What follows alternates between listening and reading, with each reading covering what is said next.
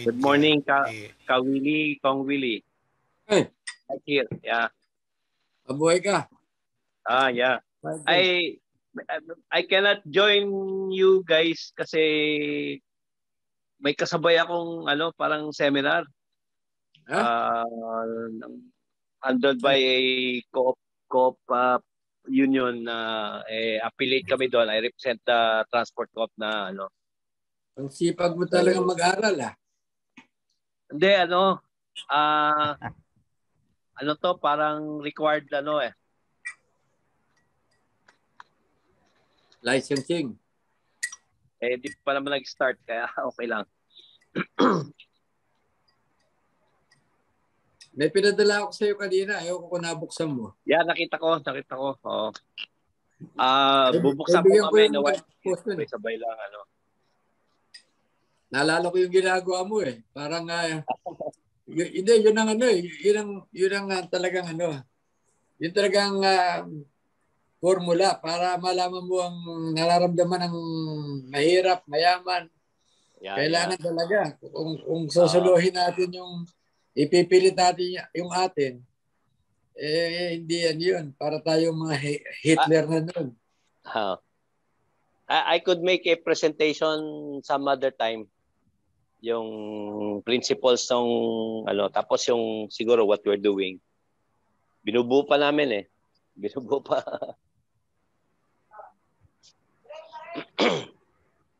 Maganda yung ano, yung ah, yung formula mo na pwedeng ano, pwedeng iutang tapos self-liquidating.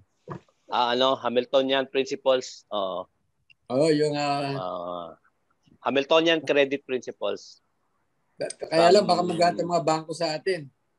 ah oo talagang ano oo Yan, yan ang malungkot eh. Oo. Oo. So ang ano diyan, uh, you do it you don't announce it ano basta you implement it na lang. Paya pangga kumbaga guerrilla marketing o guerrilla ano hanggang it creates a critical mass. Oo. Parang leadership by example. Oo. Ano kasi Pag nakita nilang ah, marami nang gumagaya, mapipilitan mag-adjust yung mga yan. oh, ma-adjust. Pero Oo. dictated din ng mga ano eh, na IMF, World Bank yung mga yan eh. Oo, oo, oo. Tama. The Mga global banking banking the global banking system kontrolado na buong mundo, all central banks saka network yan. Hmm. Iba-ibang ano. Uh, even the Federal Reserve is privately run.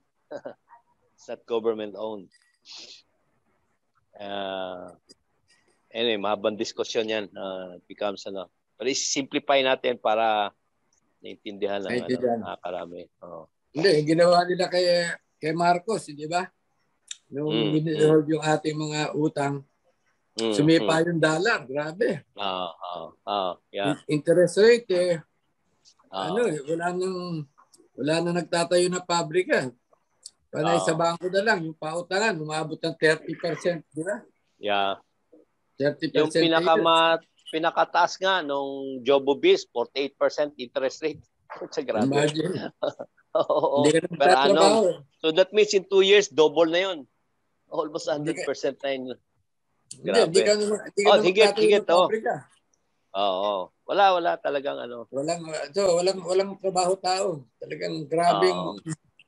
ang world Nag-umpisa economy. ng di, dinilink yung ano, nung in August 1971 by Nixon, tinanggal sa gold ano ang dollar. So that means the dollar you cannot print any volume of dollars kasi nung araw you can only do that katumbas ng corresponding ano assets of gold. Eh nung dinilink sa gold and dollar, ay you can print any ano, eh lahat international ano currency ang dollar. Eh, Paper print money na na silang print. Oh, paper money na Paper lang, wala money lang na lang. ano. Oh, Ay, nako. kaya tapos sinunda ng sinunda nung 1999 yung ano yung repeal ng Glass-Steagall Act. Okay, what's the Glass-Steagall Act? The Glass-Steagall Act nung time ni Roosevelt, siniwalay niya yung investment banking at sa commercial banking. Nung diniregulate yan, pati yung mga pension plans na naka ano sa bangko, tinitrade na ng mga Wall Street ano players. Oh, grabe. Oh, trade na yun. Dami, lugi ka. After that period na yun, oh, naging speculative. So, nag-boom bust ang uh, situation ng ano. So, pag sinabing boom ang Wall Street doesn't mean okay economy. The financial can be growing, but that physical economy may be collapsing. In fact, almost 99% of credit goes to speculative ano to pay debts. Wow. Nagano na eh. And only about over 1% that goes to the real economy which builds factories, solid jobs, etc. Ganun na yan. Kasi lumala, in fact, nag-crisis 2008, it got worse kasi nag-bail out, nag-quantitative easing, nag kung ano-anong support, all just to to chase, kumbaga, throwing gasoline to douse the fire. Parang ganyan eh. Lumala lalo. So, a new bubble is coming up. Talaga? Eh, mahabang kwento yan. Oh. A new bubble. Oh. Building up. Hindi, kawawa Kaya, tayo. Oh, Paano dollar yan? Abot ng 60 pesos, dollar. uh, at saka prices, inflation. Ngayon, anyway, magandang i ano yan, gandang discuss na ano, ano implication sa sa atin, parang ganyan.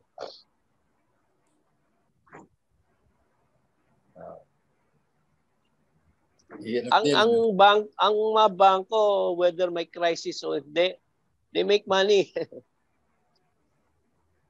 for every dollar uh, in capital they lend 10 times hindi naman hmm. magdi-default yung 90% noon eh. Eh, kayo magde-default. Hindi sila na may-ari ng mga ano. Oh, oh. Mga nakasanla oh. sa kanila. Oh, oh. Yeah, tama kasi may katumbas na in asset fact, yan uh, or In fact, ang video, sila na nagmamanage ng mga ibang uh, mga Dami. sinanda ng mga malalaking uh, oh. alam mo na, siga. Da, dami na foreclose mga property. Hmm. Yung mga hindi nakapagbayad, ganyan. Do you know that the the banks, commercial banks, are worse than the loan sharks? Okay. I believe that. Ito ah, oh. uh, ito ah, simple. Uh, ah, 80% ng depositors are below ano uh, are depositors na with minimum balance below 2,000. Nasa 2,000 karamihan diyan eh, ganyan. Ganyan lang level. Ilan lang yung mga milyon-milyon nasa bangko. Yan. Ngayon, meron tinatawag na if you're below the minimum uh, balance, let's say less than 2,000, babawasan nila ng 250, 300, 350. And the highest among banks is 350 pesos. Okay. So, the first month na below minimum ka 2,000, babawasan 350 yan. So, 350 divided by 2,000, that's about 17 point percent plus plus, no? for that month, ay annualize ang kwenta ng interest rate. So, 17 times 12 months uh, per annum, that's about 210% thereabouts, no? For the first month pa lang. On the second month, babawasan naman, kasi hindi mo na maintain yung balance eh, babawasan naman another 350. I-divide mo doon sa remaining balance na 1,650 na yan. Di ba? You get a, hmm. pra, a, a, a an amount, uh, ilang percent na yan, times 12 ulit, palaki lang palaki until it reaches hundreds of hundreds. 600%. 8, uh, sundan mo yung computation na yan and you'll be surprised. Eh, 80% ng depositors, ganyan. That's why I'm claiming the banks are worse than loan sharks. Ang, eh, ang 5-6, 20% lang yun eh. Doon na tayo oh. sa Bombay. Uh, walang application oh. form pa.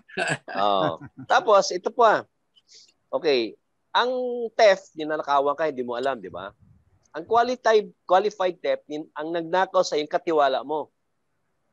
Ang robbery, persang kinuha sa iyo. In this case, katiwala mo, persang kinuha sa'yo. So anong tawag doon? Are the banks uh, bank robbery or qualified theft all at same time? Anyway, food for thought lang yan. Food the for thought. is the greatest Oo. scammer. Grabe. Ah, Ay, nako.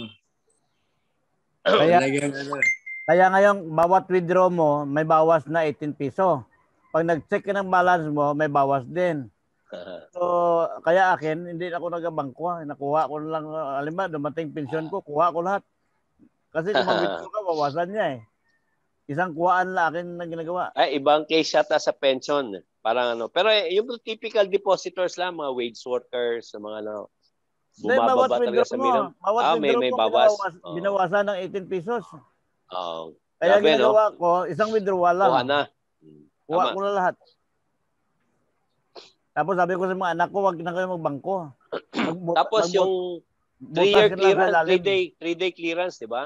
Mm. Eh, sa GCash nga, real time. Nakaka-send, receive ka ng pera mo. Real time. Ito, pag nagpadala ka ng ano, sa bangko, kung na-cheque, clear pa na 3 days. oh, may clearance Eh, ka pa. pwede naman, pwede naman text o pwede ano, okay na yun. I mean, di ba? May pera yan, may bank account. I mean, with the sophistication ng technology. Mm. Pero, siyempre, gagamitin nila yan. 3-day, ano. Yung Talagang overnight ano, loan po- calling rate. Oo. Wala, Anyway, wala, wala po I- I have to go. I have to go. I have to go. Okay. Thank you, thank you. Okay, sige, thank you. I just keep this on kasi nandun ako sa laptop for the yung seminar ko. Okay. Kinig lang ako din just in case I can pop in para ano lang. Thank you, Okay. thank you. But I have to go kasi nag-start na doon sa kabila. Thank Okay, you. okay, sige. Thank you. Ang papa ko, stricto talaga yan.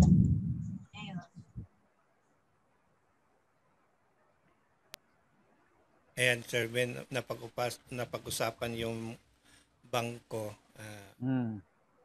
kung magbalik tayo sa 89 sa dating 1899 ah, sitwasyon, ito pa rin yung pera gagamitin natin na perang control ng mga kabal, control ng bankers at ng ano or gagawa tayo ng sarili nating pera or sarili nating monetary para we have our control. Kung ako, kung ako ang ah, masunod na because we are sovereign state, let us maintain the sovereignty, our sovereignty. Not that we have to copy from ah, somewhere. Ngunit, Pera pa ngunit ang sabi nila, hindi tayo mabuhay kung kung ah, tayo lang. Eh ano ang silbi ng sinasabi na the Philippines is the richest country in the world? Kung ganyan ang katwiran. Ha? Ay, ang problema natin, ang problema natin sa Pilipinas, yung ah, greed of power, greed of wealth, greed of, ah, tapos siraan, walang pakialam sa kapwa. Yan ang problema natin. At ano gahaman. Haman. Ito lang ah, sa akin ah, dahil ah, ito ah, karaniwan na problema sa mga seaman. Ang seaman, malalaki ang sahod. Ako, naka, nakaranas ako na monthly ko eh, kalahating milyon as a chief engineer. So ang iba, parang nainggit na doon. Alam mo kung bakit? Sabi niya, di po, eh, ilang buwan ko ka trabaho ang isang buwan mo. So sa madaling salita, parang ah, nagkainggitan. So anong ginawa nila ngayon? Nahala pa training na pa training ng mga seaman. So ang kinita mo sa barko, tama lang bayad mo naman sa training fee mo. May training na 60,000 na ah, per ah, course.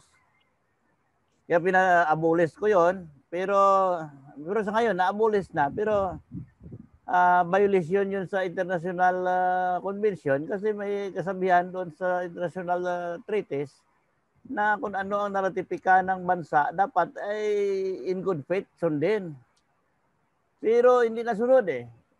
Kung saan sila kumita ng true corruption, ay gagawa sila ng ah, memo circular o ito naman mga siman takot naman makipaglaban dahil baka hindi daw makasakay Sige, bayad lang na bayad. Kaya kung maganito ang sistema natin, wala mangyari. Kaya dapat ah, mapalitan itong sistema na yung ah, atin-atin, hindi yung ah, sa kapwa natin atin pa. Yan. Kung mayaman talaga, okay lang. Eh, ang problema eh, kung sino pa ang pinakamahirap, yun pa ang ah, pinag-iisipan nila na lokohin. Wala yun ang paboritong lokohin yung mahihirap. Oo. Ang may kasalanan po dyan, ano, yung mga may kaya eh. Kahit na sa halalan, ayaw turuan yung mga mahirap. Pa, ah, ayaw nilang ah, ipakita. Kasi yung mga may kaya, sila lang ang pwedeng mag-research sa mga kwalifikasyon ng mga kandidato eh. Mm. Yung aking binebentang uh, voters education, eh, pumapalakpak ito mga kaskwela ko, wala namang gustong magturo. Kasi ku- ku- kung ang mahirap, matatalino yan eh. Kung bibigyan mo ng tamang impormasyon, mas matalino sa matalino yan eh. Dahil sila, ang mahirap, natitikpan nila yung hirap eh. Mm. Eh, di ba? Yung, yung lolo nila mahirap, tatay nila mahirap, sila mahirap. Mm, So alam nila kung ano talaga ang problema, kung bakit sila mahirap. Kaya lang, dahil uh, nasanay na sila sa kahirapan, masaya na sila sa kahirapan. You know? Which is wrong eh. Kasi sa edukasyon, pag hindi nakapag-aral ang mahirap, wala nang pag-asa talaga. Mm. Yun ang, ah, yun ang obligasyon natin mga nakakaintindi. At ah, medyo, medyo, ano, medyo, ika nga, mas ah, baga ng buhay, ano. Kaya lang, il- il- ilan yung, ano, eh, ilan yung nag-iisip talaga ng mga paano pagagaanin, eh.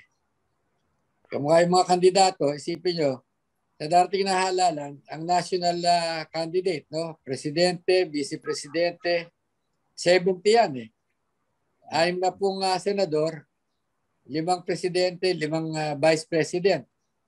E di ilan na yun? Ah, 70. Pitumpung kandidato, ah 85% ng botante, they belong to the CDE. Ito yung naghahanap buhay. Yung iba, walang makain. Mm. Paano nila pag-aaralan yung kwalifikasyon ng pitumpung kandidato? Sabihin nyo nga sa akin. Wala. Paano nila pag-aaralan?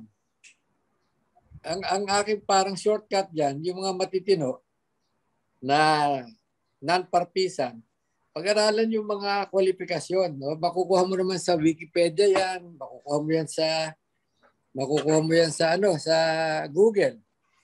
Sa dyaryo, no? so, tayo ang gagawa nung ano, nung record nung uh, 70.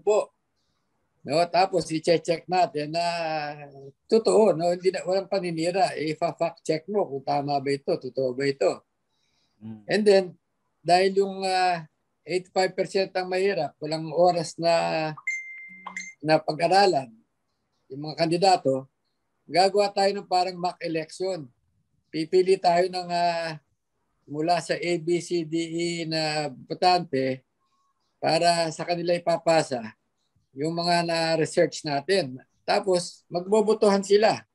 No? May, may grading system. Ah, para bang ah, yung, yung pasado, 3. Yung medyo, 2. Yung baksak, 1. O di, may grading system. May scorecard ng bawat isang ah, delegado. No? Takwan.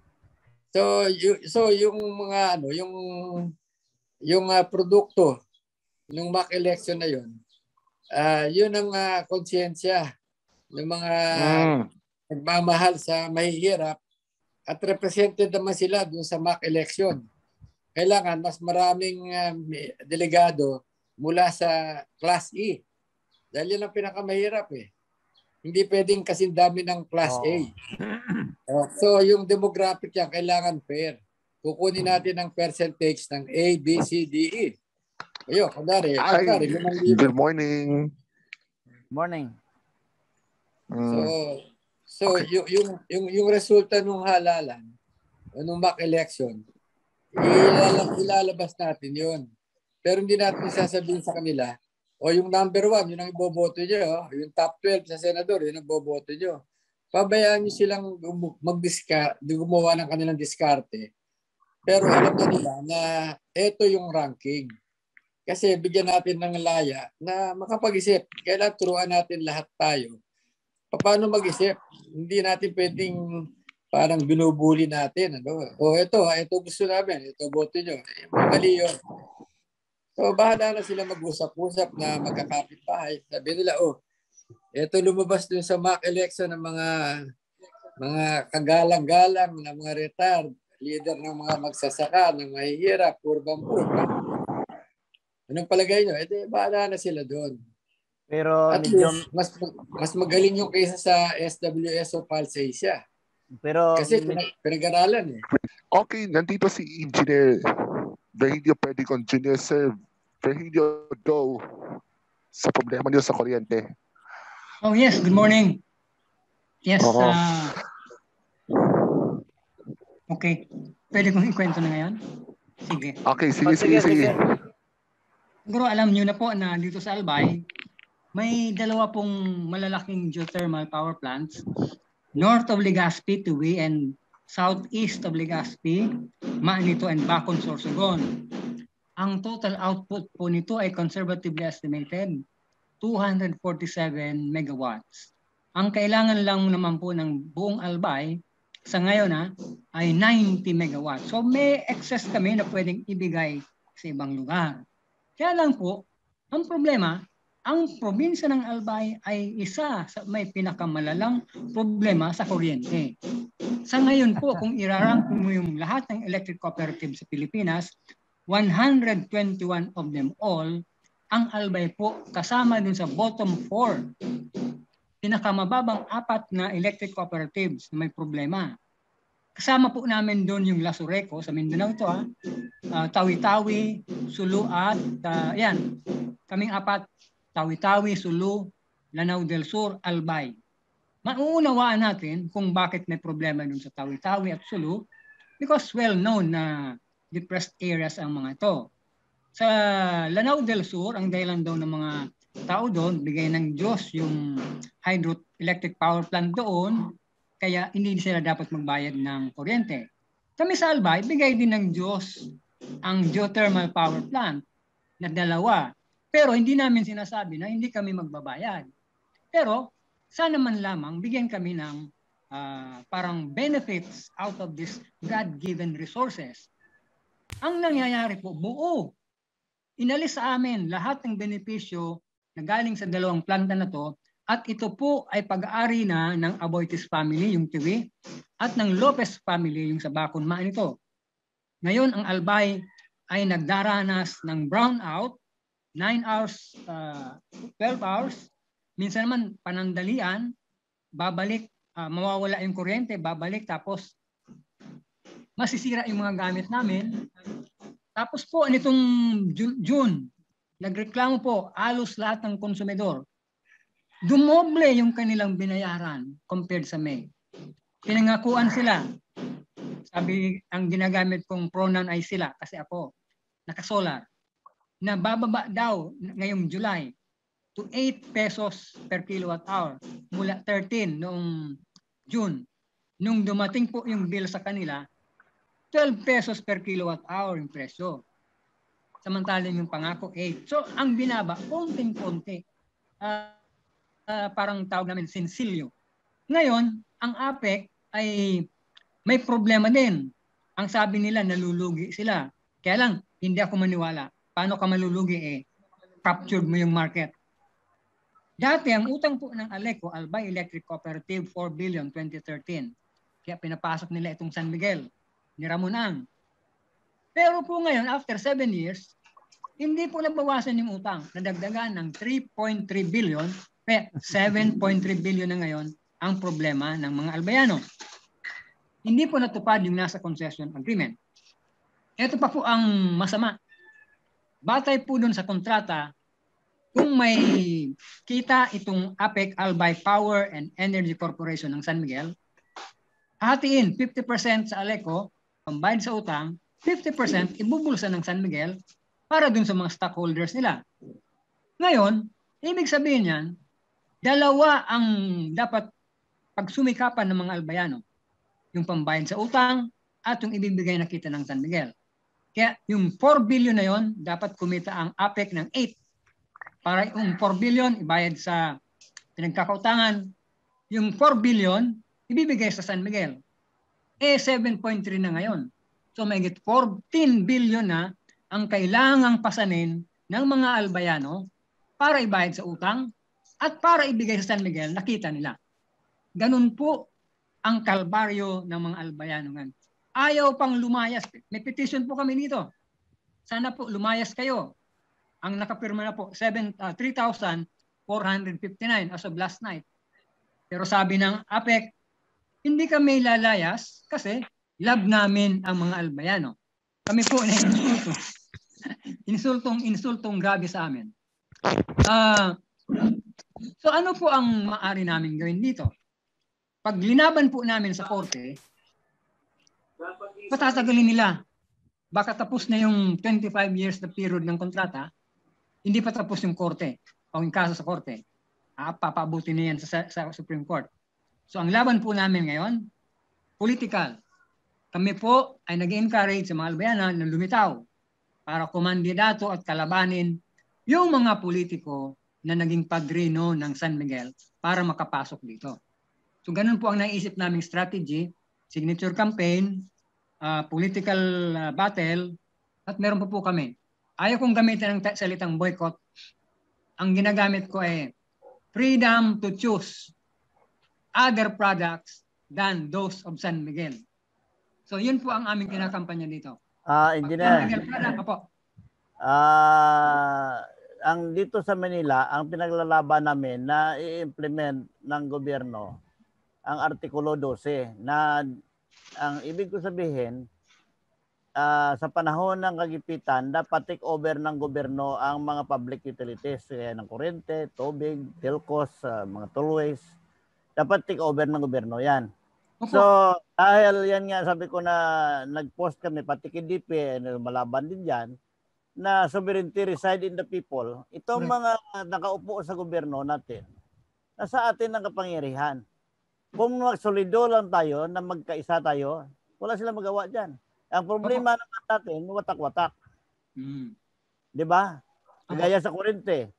Nag-propose kami na huwag bayaran ng kurente, ganun din ang tubig. Ay ang problema sa mga subdivision, nagabayad sila dahil ayaw nila matanggalan ng uh, kurente, tubig. So ang mga mahihirap, lalo nahihirapan, napipilitan sila kasi ginaputulan sila pag hindi sila nagbayad. Opo. Sir, actually doon sa petition namin, number one doon sa solution na ino-offer namin, i-take over ng provincial government ang aming distribution utility. Ginawa po nila yan sa Pantaw Port. Provincial government ang nag-operate and manage ng Pantaw Port doon po sa Libon Albay. Ginawa din po yan sa Olongapo City. So meron po tayong legal precedent kung gagawin yan ng Albay Provincial Government. Dapat lang, dapat. At meron May po kaming solusyon. Pa, no? Opo. Sige po. May hearing pa po sa August 5, no? Meron po, meron. Ako ang complainant doon sa ARC. Virtual uh, hearing. Okay. Kasi po, mga ano, buong barangay, pinuputulan nila. Ah, Kahit hindi kaya, dinadamay. Pumayag ka sa virtual hearing pala. Well, ah, uh, yun lang po ang ano doon, namin, paraan doon sa Pangasinan, doon sa Pangasinan, may kakilala ako doon na nakipaglaban din. Sabi sa kanya, mag-virtual hearing. Pero sabi ko, may hearing ka naman sa Senado. Sa Senado na kayo mag-usap para mag-alaman. Kasi sa virtual, baka sabihin niya, kasi pumirma ka naman eh, lumayag ka naman eh. Pero kung doon sa Senado, at least may mga senador na naka bantay at uh, magandang uh, ebidensya yon kung ano ang sasabihin nila. Hapon po, uh, ano, two days ago, participant ako sa Senate Committee hearing, yung sa ano, uh, Senate Committee on Public Services. Hmm. Hindi ko nakita yung chance na magkaroon ng magandang resulta doon. Although ang topic po ay kaso Record 3, gusto i-take over ng isa na namang private uh, company uh, kinuha akong resource uh, person, pero hindi naman ako ni-recognize. Ang nagsalita lang na nagsalita doon, matapos yung Kasureko 3, yung Bicol Light and Power, saka ERC, mga senador na, at saka si Congressman El Revilla Perte, di naman ako ni-recognize. Kaya mahina po ang aking paniniwala sa mga Senate uh, committee hearings. Yan po ang aking ano doon, take. Sabi ko, Doon hindi naman- public hearing yun, nag-feedback ako. Ano Doon yun, naman hindi naman heard yung public.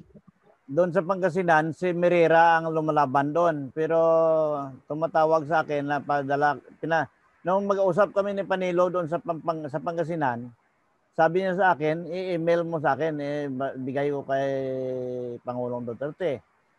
Hanggang ngayon, hindi niya ako nasagot. Ang, ang email ko sa kanya, hindi niya nasagot. Doon Okay. po sa mass disconnection. Um, so, tinatamad yung APEC na mag-disconnect ng mga individual ah, non-paying consumers. So, ang ginawa nila, parang yung sa summary. Ah, buong barangay, pinutulan, tatlo. Bacolod, Tabaco City, Bariu, and uh, Hunop, ah, Malinaw, Albay. Nagsumbong yung mga tao sa DOE. Sabi ng DOE, APEC, ibalik mo yung connection sa mga nagbabayad. Alam niyo po ang sagot ng APEC? Sabi ng APEC, hindi. Mas malakas sa gobyerno itong APEC. Bakit? Ang dahilan nila, it is our commercial prerogative.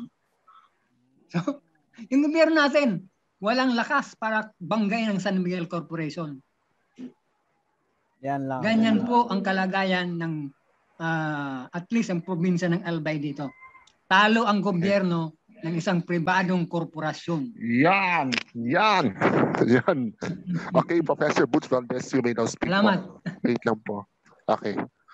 Professor Butch. Okay, kabot, si recognize. Kabot, napag-usapan ng kurente dito sa Albay. May madagdag ka doon.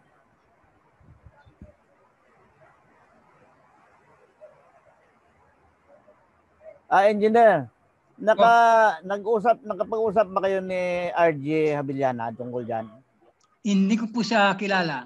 Hindi pa po, hindi kami Sa katipunan ng Demokratikong Pilipino, siya rin ang presidente ng ah, warm sa tubig, Water for All movement at Mm. saka sa ah, consumer UFCC, United Sige po, thank you for informing me. Ah, subukan kong makakonect po sa kanya.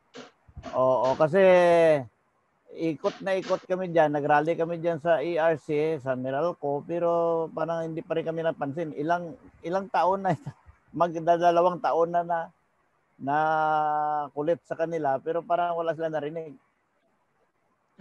Kaya dapat Yun ang problema sa akin na sa akin na paning- pananaw dapat ang pangulo diyan ay talagang matibay at sundin ang konstitusyon. Ngunit kung hindi man lang masunod tong 1897 konstitusyon, kaya ito ang pinaglalaban natin na dapat ibalik na lang natin sa 1899. Kasi ang ah, 1987 konstitusyon, ina-violate na nila na samantalang napakalinaw. Pero hindi nila ginapakiala, hindi nila nasunod. Opo.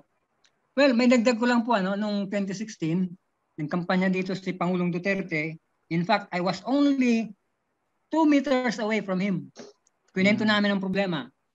Ang sagot niya ay, ah, hindi naman sin- sinabing lulutasin, parang nagbiro siya noon, pasabugin nyo na yung geothermal plant na yan. Biro niya lang yon Alam namin.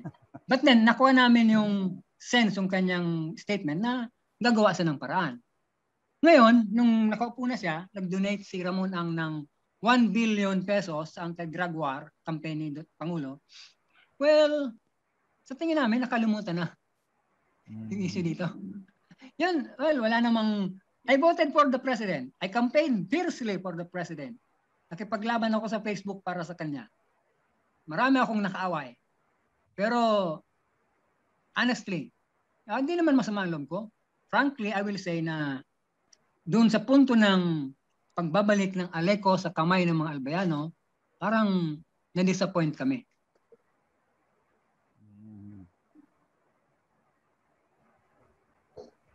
Yun po yung katotohanan niya. Yan Hindi naman kami aasa dito kay Lenny Robredo. Kahit sa Bicolana, taga Camarines Sur, kapitbahay namin. Kasi nung tinanong ko yung close contact niya doon na kabarkada ko nung college, tinanong ko, will Lenny stand against privatization of electric cooperatives? Ang sagot niya sa akin, pabor si Lenny Robredo sa pag-privatize ng electric cooperatives. Sorry, Bicolano ako, Bicolana siya, I will not support her. Prangkahan na to. Kaya, hindi naman to personal na laban natin. Ito ang pinaglalaban natin ay ang ating mga kababayan. Kaya kung ah, sakali matuloy itong ah, 2022, nasa taong bayan yan kung ah, ano ang kanilang desisyon. Dahil ah, sa ngayon, may balita kami na nasa second reading na ang ah, mandatory vaccination. So, Mm. ang ah, pag ah, 100% ownership ng mga foreigner sa tubig kurente, parang ah, pinapayagan din nila. So, nasa taong bayan yan kung iboto nila yung mga tao na nag nagtatumatayo Opo. diyan. Ang problema lang natin, ito na mga, mga bumuboto, hindi naman nila alam kung ano, sino-sino yan ang mga tao na yan. Na kumakalaban sa taong bayan. Kaya ulit-ulit lang na the wrong from the start in between to the end will always be wrong. Opo. Marami tayong dapat pagtrabahuhan. Malaki ang problema. Mas willing kami na makipaglaban na pangmatagalan. For how- as long or how long it takes, we'll give it all our best. Okay, so tigil muna natin itong ah, tungkol sa kurente at ah, 9 o'clock na. So now let's go to the about 86. ah, 1899 ah, Constitution. We're still trying to purge it kasi we realized last week na some of the lists that were Ah, Carlo, si Senator Lina na pumasok na. Ah, i- Mel, paki-unmute mo, eh, paki-ano mo si Senator Lina. Senator Lina, good morning. Few of this and Good morning. the steps. We already pitched the steps and Ah, sana to uh, to Ma'am? go forward with this. Um, we're just waiting for Sir Nelson for the confirmation. Nung, ay, sorry, not Nelson, si Sir si Mark for the opt-out. But Okay, sir. okay, so Senator Lina, good morning. I'm just I'm Okay, just so fixing my computer. Oh, okay. Ah, okay. So, si, I'm sorry, uh, Professor Hill uh, Ramos uh, was not here, but uh, he told me that he might be coming in at 10 o'clock upon his arrival in Los Angeles.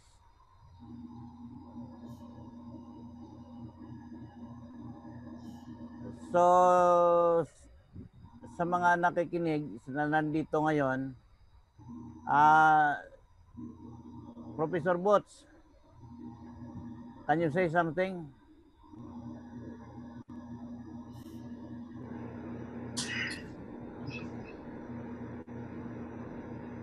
Good morning, Senator Lina. Willie Villarama po. Hoy. Ay, inayos ko lang yung aking computer. Sandali lang. Ah.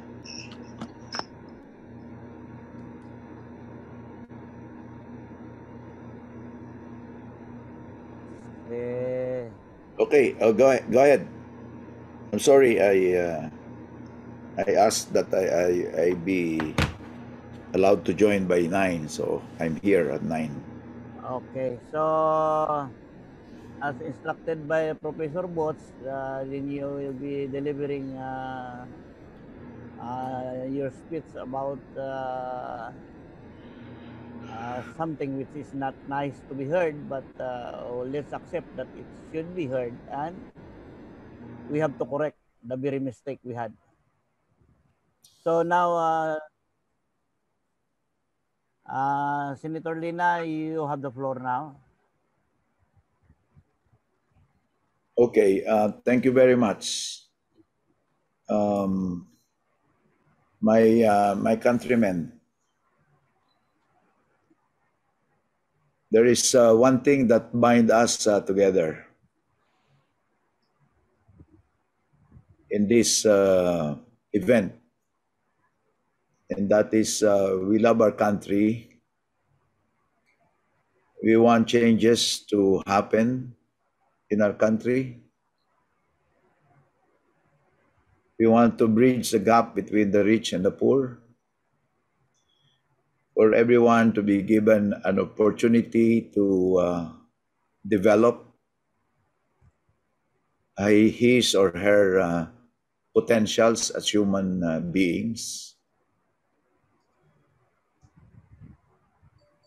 We love our country and we want to see that uh, the family of nations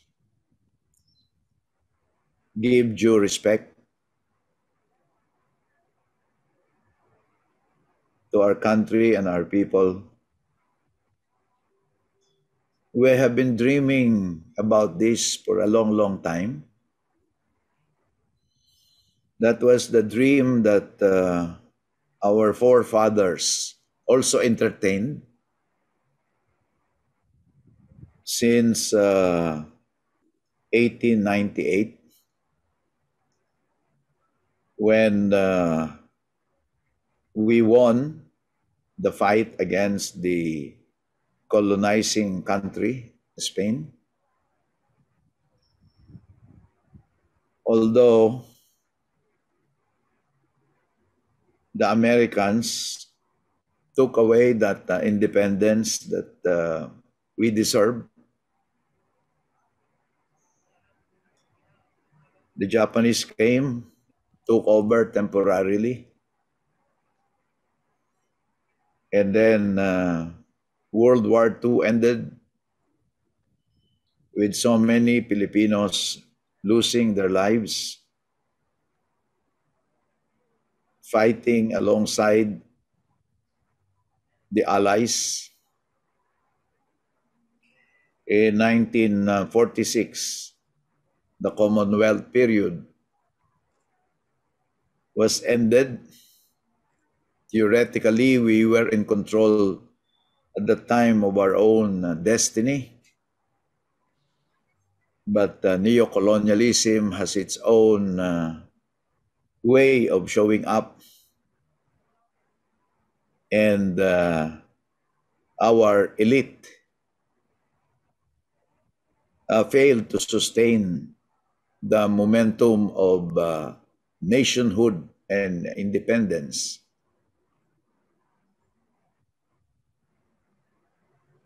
We are in this period of our history when uh, situation is not getting any better. While uh, we have a government that is in place with the three branches of uh, government executive, legislative, and judiciary, and the local governments in the local level, the dream that uh, our forefathers have uh, uh, embraced until now are still dreams. The poverty level is still very high in our country. The government uh, is still moving as if it is still in an experimental stage. And there is so much to be done to make those dreams come true. The uh, way that we decided to go in uh, building our country and in the installation and management of government is the uh, system of democracy, where theoretically the people uh, make the decision, sovereignty resides in them, and all government authority emanates from them. That, in essence, is democracy, an ideal concept unfortunately, democracy in our country is still very much a work in progress. as it has many, many imperfections. Why? Because uh, there is really no way by which people can make their own decisions independent of uh, influences by those who have uh, a better share of the wealth of the country.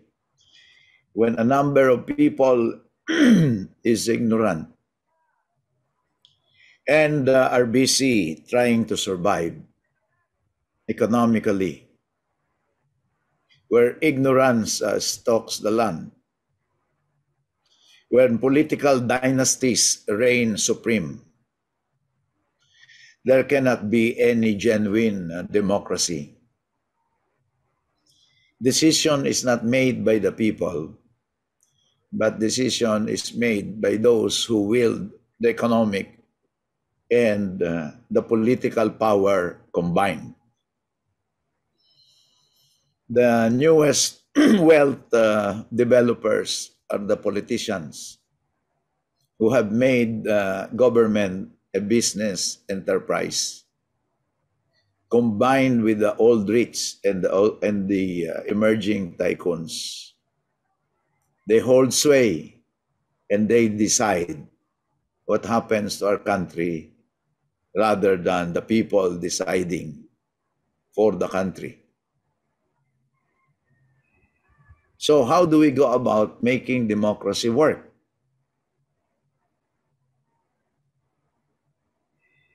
My countrymen, we need revolutionaries. We need uh, Filipinos who will uh, be willing to lay down their lives if necessary. We need uh, Filipinos who will share their time, talent, and treasure to the cause of democracy and to the cause of good governance, prosperity for all in a sustained manner. These Filipinos I am referring to will take up the cudgels of leadership for the rest of the country. They may come from all sectors of society. They may come even from the landed gentry. They may come even from uh, the business sector. They may come from the ranks of the fishermen and the farmers and the laborers. I do not believe in class distinction. Everyone can rise above his own class. Mm. Mm. My countrymen, Hindi, nakikinig ako kay Joey Lina. we, we need we need a critical number of Filipinos who will assume that leadership role. We are 110 million Filipinos. If we can only get 1% of Filipinos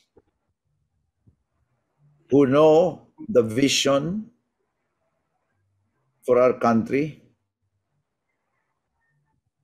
clear on the mission, clear on a program of government which will address the problems of the country,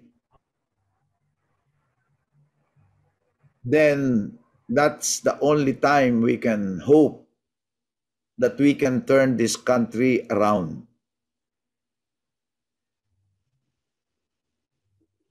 These Filipinos that I am referring to, unfortunately, are difficult to find.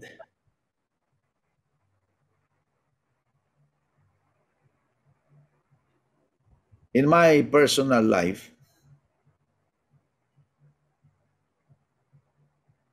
as I belong to the 70s, working with the young people who dropped out of school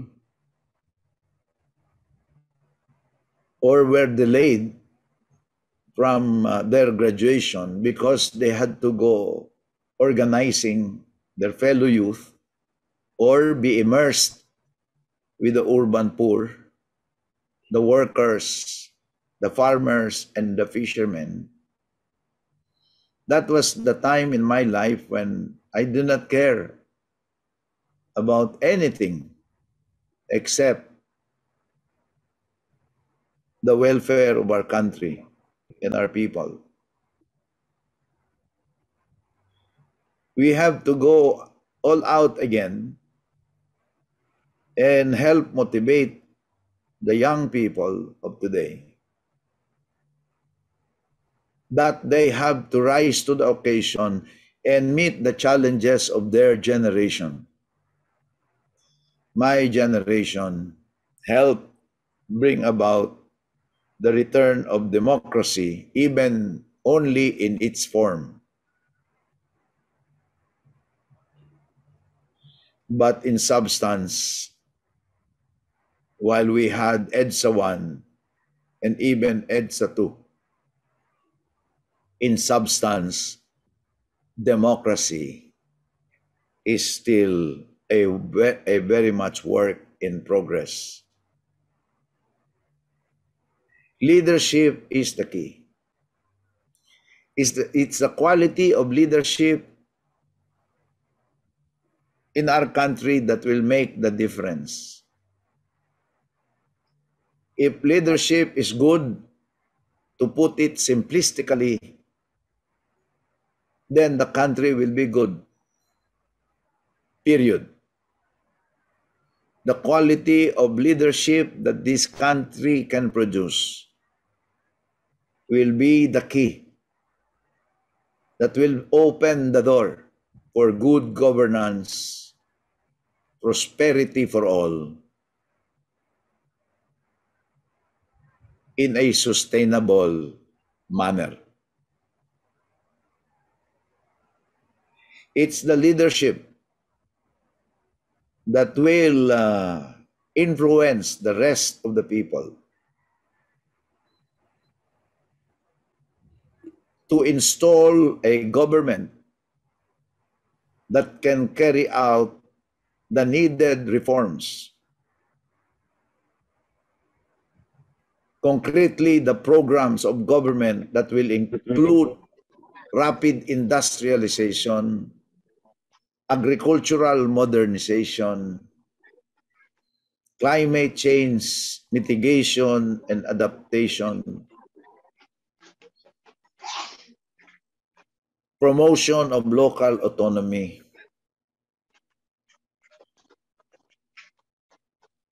Pre- high priority for education, health, science, and technology,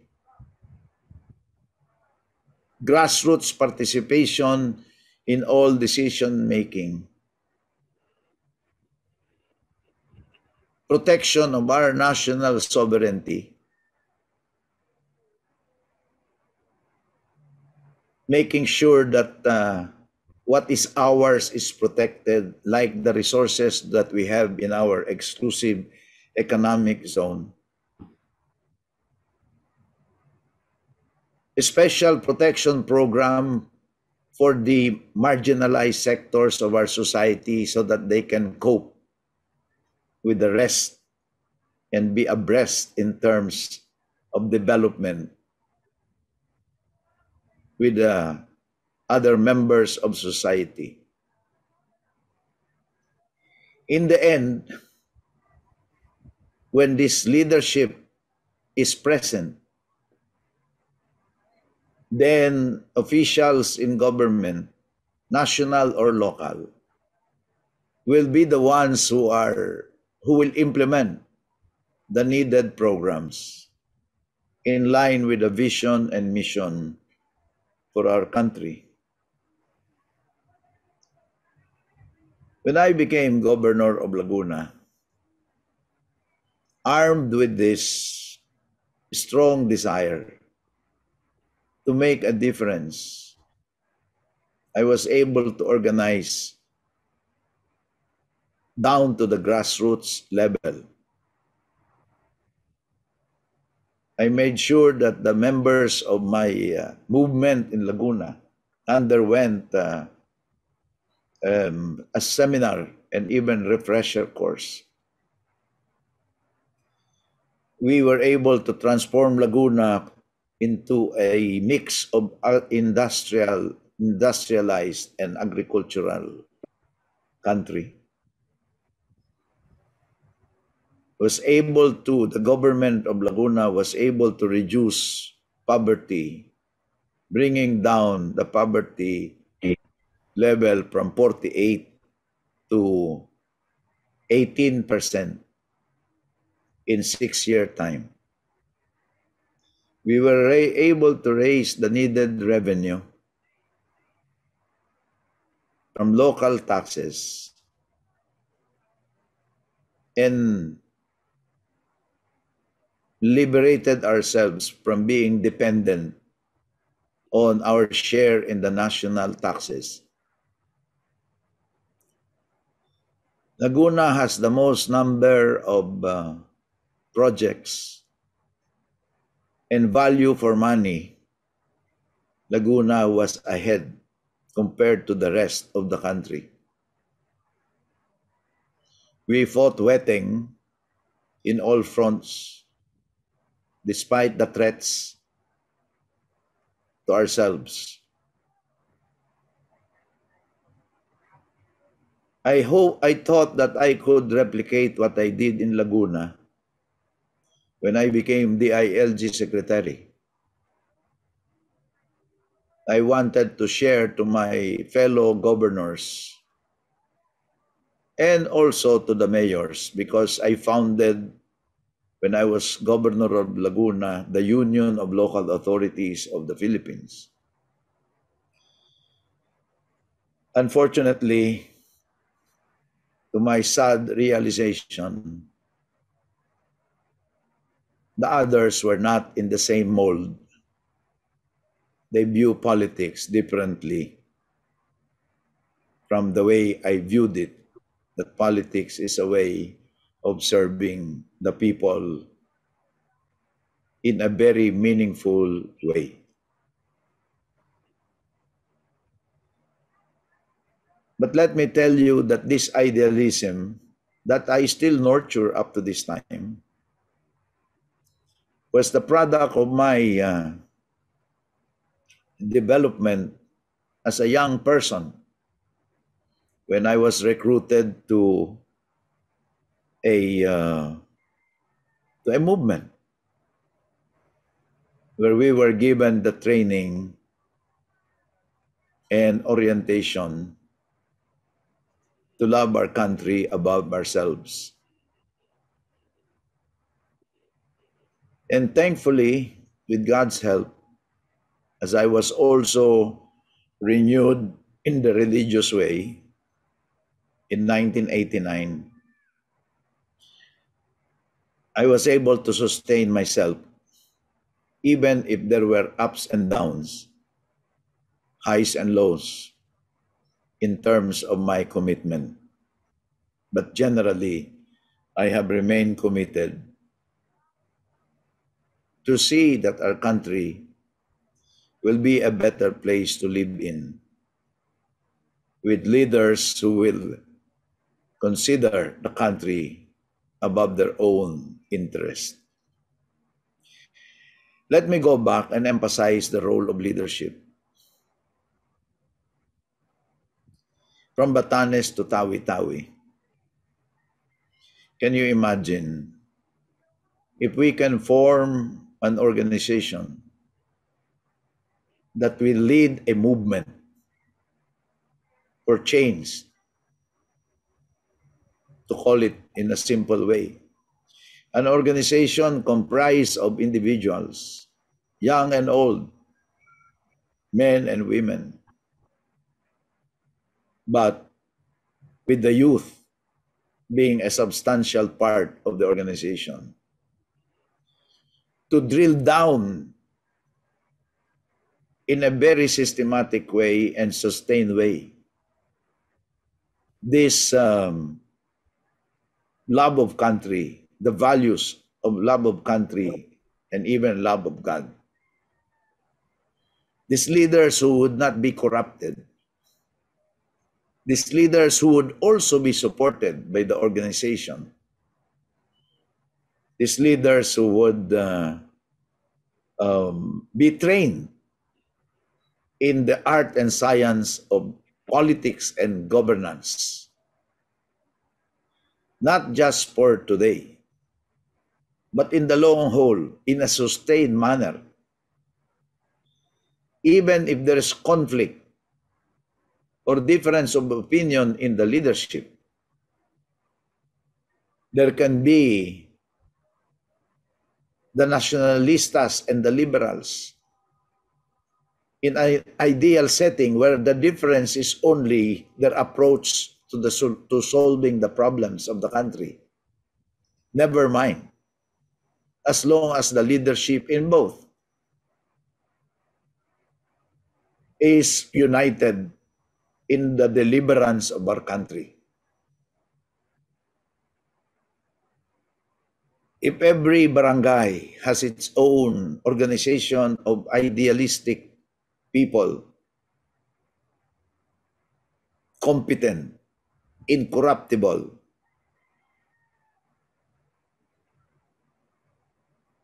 committed,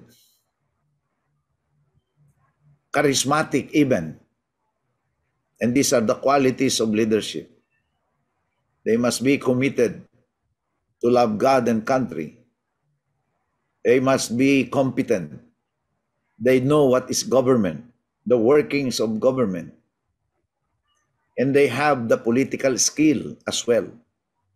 This must be a combination that must be achieved. The political skill and the competence to be administrator. Then the other qualification is the charisma, the ability to communicate, the ability to influence, Then the, the other is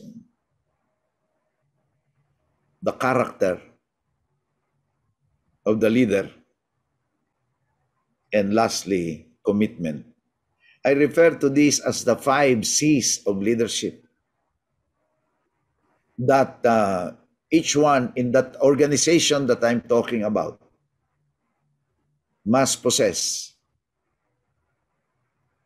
and must be present in a sustained way.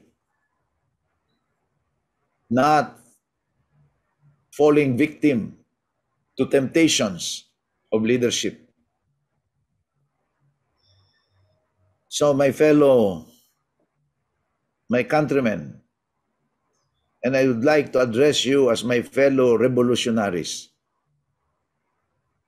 there is no way by which we can make democracy work in this country. There is no way by which we can deliver our country from the present problems that is now facing without that leadership being present. Who will uh, bring about that leadership? You and I can start it here. Some people have their own initiatives.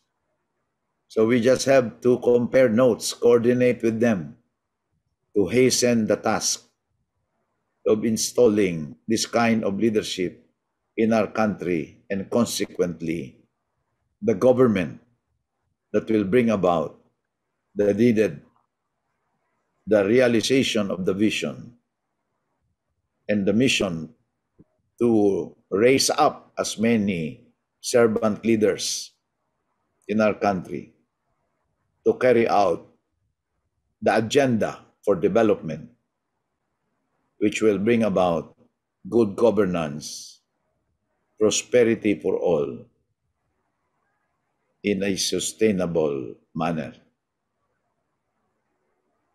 In this way, democracy will be meaningful, although it will always be a work in progress as improvement at the top will always be there. There is no stopping. There is no dead end. We have to push the frontiers of development in our country, and that includes making sure democracy is achieved meaningfully and in a lasting way.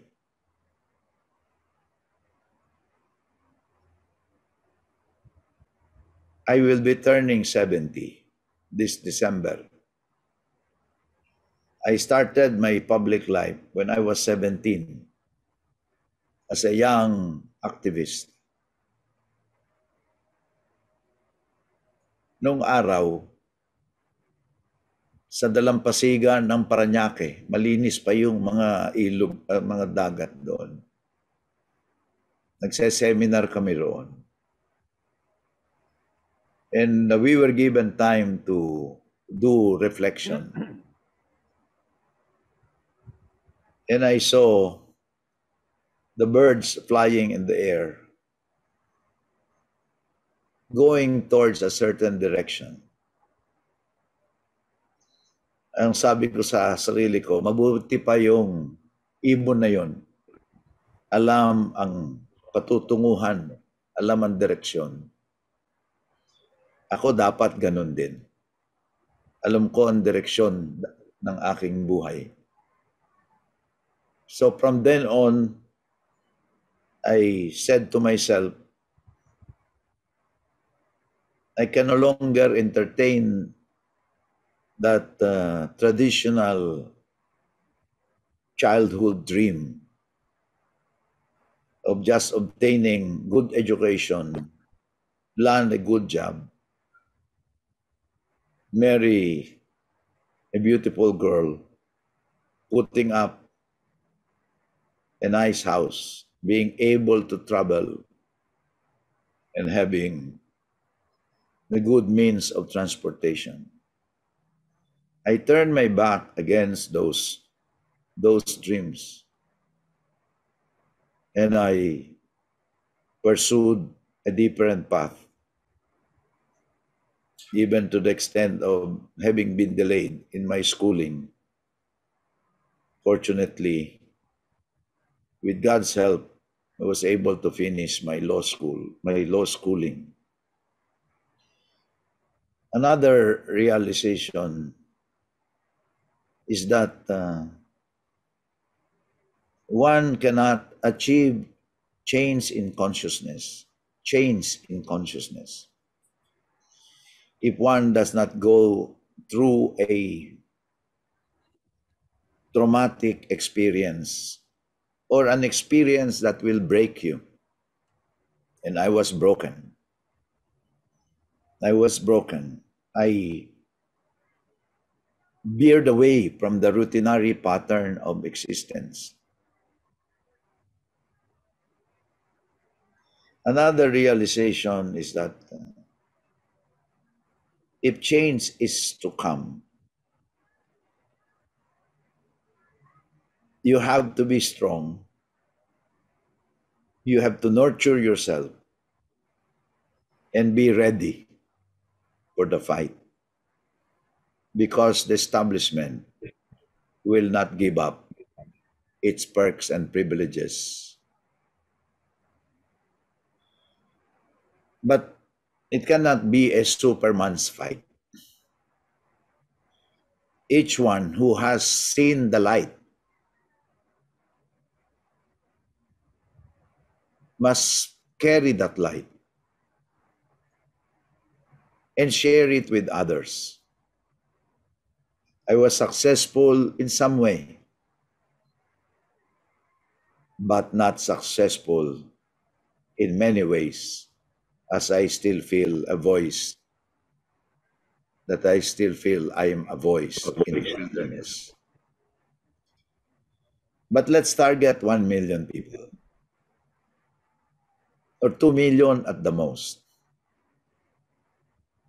of committed, competent, men of character, charismatic, then we can begin to hope that we can turn this country around. There is now political noise. Eight, nine months to go before the election. Again, we are focused on who will be the best candidate. We look for the personalities. Luma na yon. If we want change, yes, we will look for the persons. But we have to make sure that that person has clear solutions to the problems of the country. That's why I emphasize more on programs of government. Paano ba talaga ma iaahon ang mga mahihirap sa kahirapan? Paano bang edukasyon ay magiging mataas na kalidad na edukasyon ay magiging uh, madaling makamtan ng ating mga kabataan? Paano makakalikha ng kalidad na trabaho? Hindi na pag-uusapan yan kung mapag-usapan man, ay pabalat bunga or lip service lamang.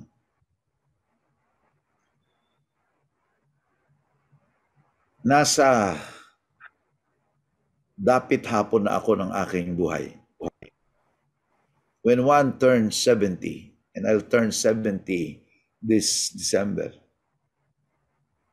binabalikan ko yung aking kabataan na ang pangarap makita ang bukang liwayway sa dakong silangan na magbabadya ng kaunlaran, katarungan at pagkapapantay-pantay ng mamamayan. Hindi ko nakita yang bukang liwayway. Nung katanghalian ng aking buhay, nandun na nga ako sa gobyerno ang panalangin ko kahit na hindi na bukang liwayway. Silahis na lamang makita ko ay masaya na ako. Ngayon, magdadapit hapon na. Malapit na sa takip silim ng aking buhay. Wala akong nakitang bukang liwayway. Hindi ko nakita ang silahis So ang panalangin ko ngayon, kahit banaag na lamang ng bukang liwayway, ay aking masilayan, ay masaya na rin akong may himlay. May panahon pa. May panahon pa. At habang may buhay, may pag-asa. Kaya lamang, kinakailangan ng pagmamadali. At sa pagmamadaling yan, kailangan ang maraming kamay na magkakapit bisig. Mga kamay na mag-aalay ng sarili. Lakas, talino, kayamanan, o buhay man para sa ating inang bayan. Maraming salamat sa inyong pakikinig. At kung kayo may mga katanungan, handa naman akong magbigay ng kasagutan. Mabuhay kayo, mga minamahal kong kababayan. Thank you, Senator Lina. And uh, for those who are present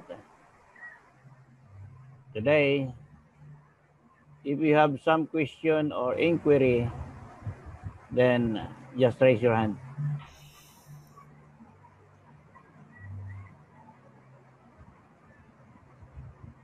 Professor Bots?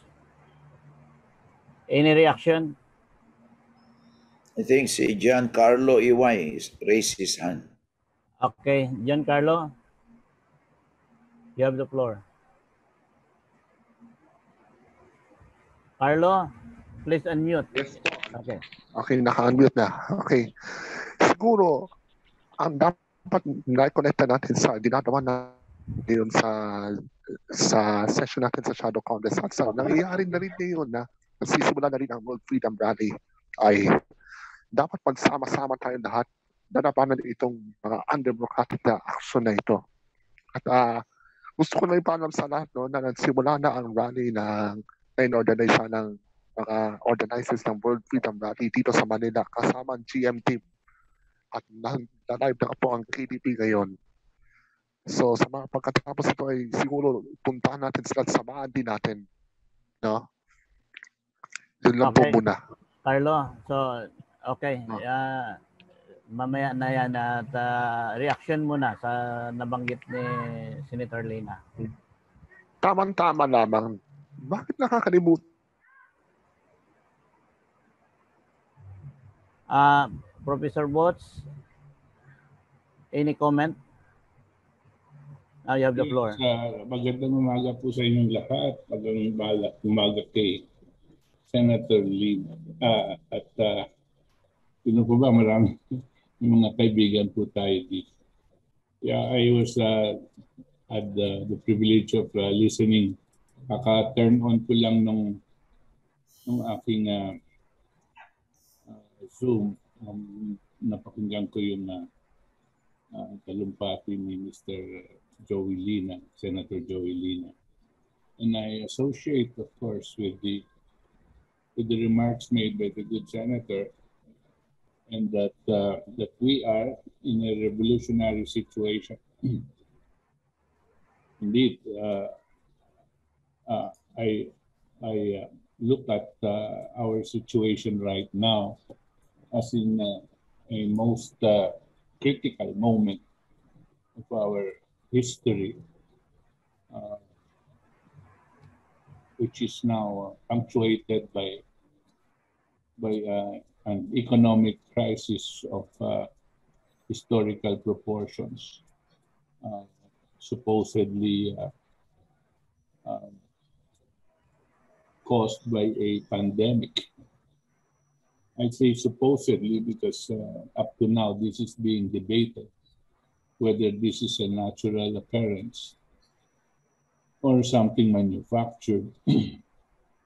In which case, if it was manufactured, the so-called uh, solutions to it uh, may not be uh, the appropriate uh, solutions, but those that uh, have been initiated or imposed by, by those who were involved in the manufacturing of the fake disease. Now, I say that because one of the things that contribute precisely to the to the economic crisis of historical proportions, and I mean historical because our GDP has been set has been set back to almost 10 years back. And uh, uh, we we have lost about 10% of the GDP last year, and we're expected to lose something even more than that uh, this coming year. We have unemployment of 22.5 million people, unemployment and underemployment. And uh, the level of uh, mortality of the economic crisis far, far surpasses those that we uh, that we see uh, presented to us by the Department of Health. Now, um, the conditions of, uh, of uh, threatening our our nation really is uh, exactly as uh, as uh, Senator Alina had said, and I agree, um, on the matter of leadership, um, but not on the basis of who because there's no such thing as a Superman. But to me, the question that should be asked is what? And uh, the senator touched on it quite accurately when he says that whoever is presenting themselves as uh, the leadership for the coming period should be should be presenting solutions and not lip service, uh, as we've always heard from practically all previous administrations as they were trying to get themselves elected. The solution at hand that, that we're looking for right now is how, how will the country recover from this present situation? What are the economic recovery programs that should come out of our economic advisors and the leadership. Right now, they only rely on the vaccines as the as the magic uh, medicine or potion that's going to all of a sudden with the snap of the fingers bring us back to so-called normal. Well, this is not going to happen. Uh, on the other, rather um, they will be presenting more and more variants so that more and more vaccines are going to be to be uh, manufactured and and uh, sold or sold to different countries. Now, the this rather than I, of course, democracy is very very important. Uh, uh, that is what uh, things like the the uh, French Revolution has actually uh, initiated and taught the world about uh, how people, uh, the people, people power can change things. the same thing with the Declaration of Independence of, of the United States. But the same thing with our own revolution in 18, uh, well, 1896, uh, where people were um, fighting oppression. But in all aspects, we we see that it was not democracy that they were fighting for. What they were fighting for was uh, sovereignty, sovereignty of the human individual, and then sovereignty of their nation. Uh, they, they were against suppression, they were against oppression, they were against imposition of leadership. Whether they were perceived or not to be there, but they were fighting uh, for their humanity, be treated as human individuals. Um, so maybe that is where I would slightly differ from, from Senator, and I'd like him to comment on this. That uh, the problem, I said, uh, when we're looking for a good leader, you're looking for a leader, not a president, not somebody who gets elected only. That president must be the leader. And there is a difference. There's a big difference. The president is elected through a democratic process. But the leader that you're looking for, uh, Senator Lina, and I'm looking for as well, is somebody who really will lead. And we're looking, uh, we, I, we produce uh, uh, or we mount uh, certain qualities that we want coming from a leader. But the only thing that I think is important in uh, choosing the leader is that the leader knows who the enemy of the country is, who is the real enemy of the people. Uh, and right now, you have uh, people that people have uh, uh, already started to identify them. In our case, we have identified uh, the present oligarchy that is in control of public utilities who are in uh, partnership with uh, people in government, no, uh, which have imposed themselves on us for the past 35 years. No. And uh, once they got hold of the public utilities, they they used it as a milking cow to enrich themselves over the past how many decades. And now they now are in control of more than just the public utilities. They are in control of uh, your uh, political leadership. They are in control of many people in the Senate and, and in the House of Representatives. They are in effect in control of the election process using the Smartmatic and all of this, eh? uh, using the resources that we ourselves have been giving to them via the public utility, um, via the public utilities. So to us, to us in the KDP, uh, that is one of the major enemy of the state. And unless we take back our country away from their control, we may not even have the luxury of really freely choosing who our leaders will be. And that to me is what sets it up uh, in a revolutionary situation. That's that's just my comment. Uh, Uh, thank you, Professor Bots. Uh, uh, Senator Lina, can uh, may we hear your reaction from uh, what uh, Professor Bots had uh, mentioned a while ago?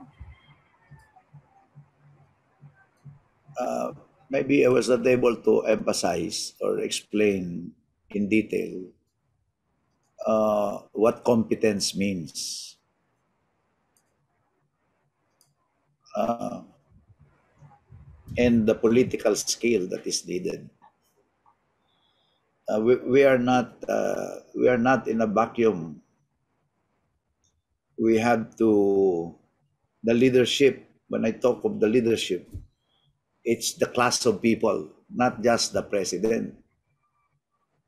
It's it's uh, I talk of organization and movement that can influence the political life of our country, the economic life of our country. And so uh, that uh, organization, which will assume leadership, uh, not in an not necessarily in an electoral way, but that will be one of the activities of the of the organization. Um, competence means knowing your enemy. Because how can you bring about the reforms that you need if uh, if you do not know who are the stumbling blocks to the uh, to the uh, to the reforms being implemented. So it goes without saying that there will be a uh, an analysis of the situation. Uh, you have your objective of uh, prosperity for all, your objective of a meaningful democracy. How do you bring that about? So competence includes knowing how to bring about these uh, these changes and achieving the objective. So to be competent is to be able to uh, carry out your objectives and in the process definitely the stumbling blocks will be the power elite economic elite in the country because they will not just give up their perks and privileges. And I think that I mentioned that the, they will hang on to the oligopoly structure. They will hang on to the uh, political uh, dynasty set up because it feeds them, it helps them. Um, they will install president who are their uh, puppets they will uh, capture the bureaucracy, the regulatory agencies. That's what we call regulatory capture. We are aware of that. And a true revolutionary should know what he is up to. So I, uh, well, we are not uh, uh, divergent on that. Uh, it's just subsumed in the word competence, not just in running a government, but competence includes the wherewithal, the resources, the plan, how to make sure that the reforms are needed are carried out. And that will include elimination of the stumbling blocks. And they are there. They are there. Um, again, also competence includes how do you bring about um, more jobs and decent jobs? How can the people have share in the in the wealth that is being produced? So there must be concrete programs. And I'm sure, for example, if you talk about profit sharing, nako, lalaban ng kakaagad. If you talk of more um, offering to the public of shares that will be open, but a certain part is given priority to the workers, ko maraming lalaban. So, the enemy must be identified. That's correct. That's correct. There, there's no quibble about that. And it falls under the word competence. The leadership must be competent. The organization and subsequently the movement should know who the enemies are or the stumbling blocks towards the realization of a given vision. When I say prosperity for all, that's too general. It has to be broken, broken down into parts. Access to electricity, access to education, access to, uh, to livelihood, um, until people are empowered that they can decide for themselves.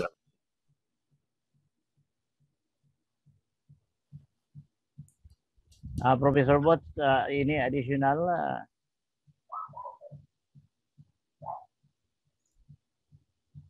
Any additional comment? If there was none, then uh, Attorney Mel.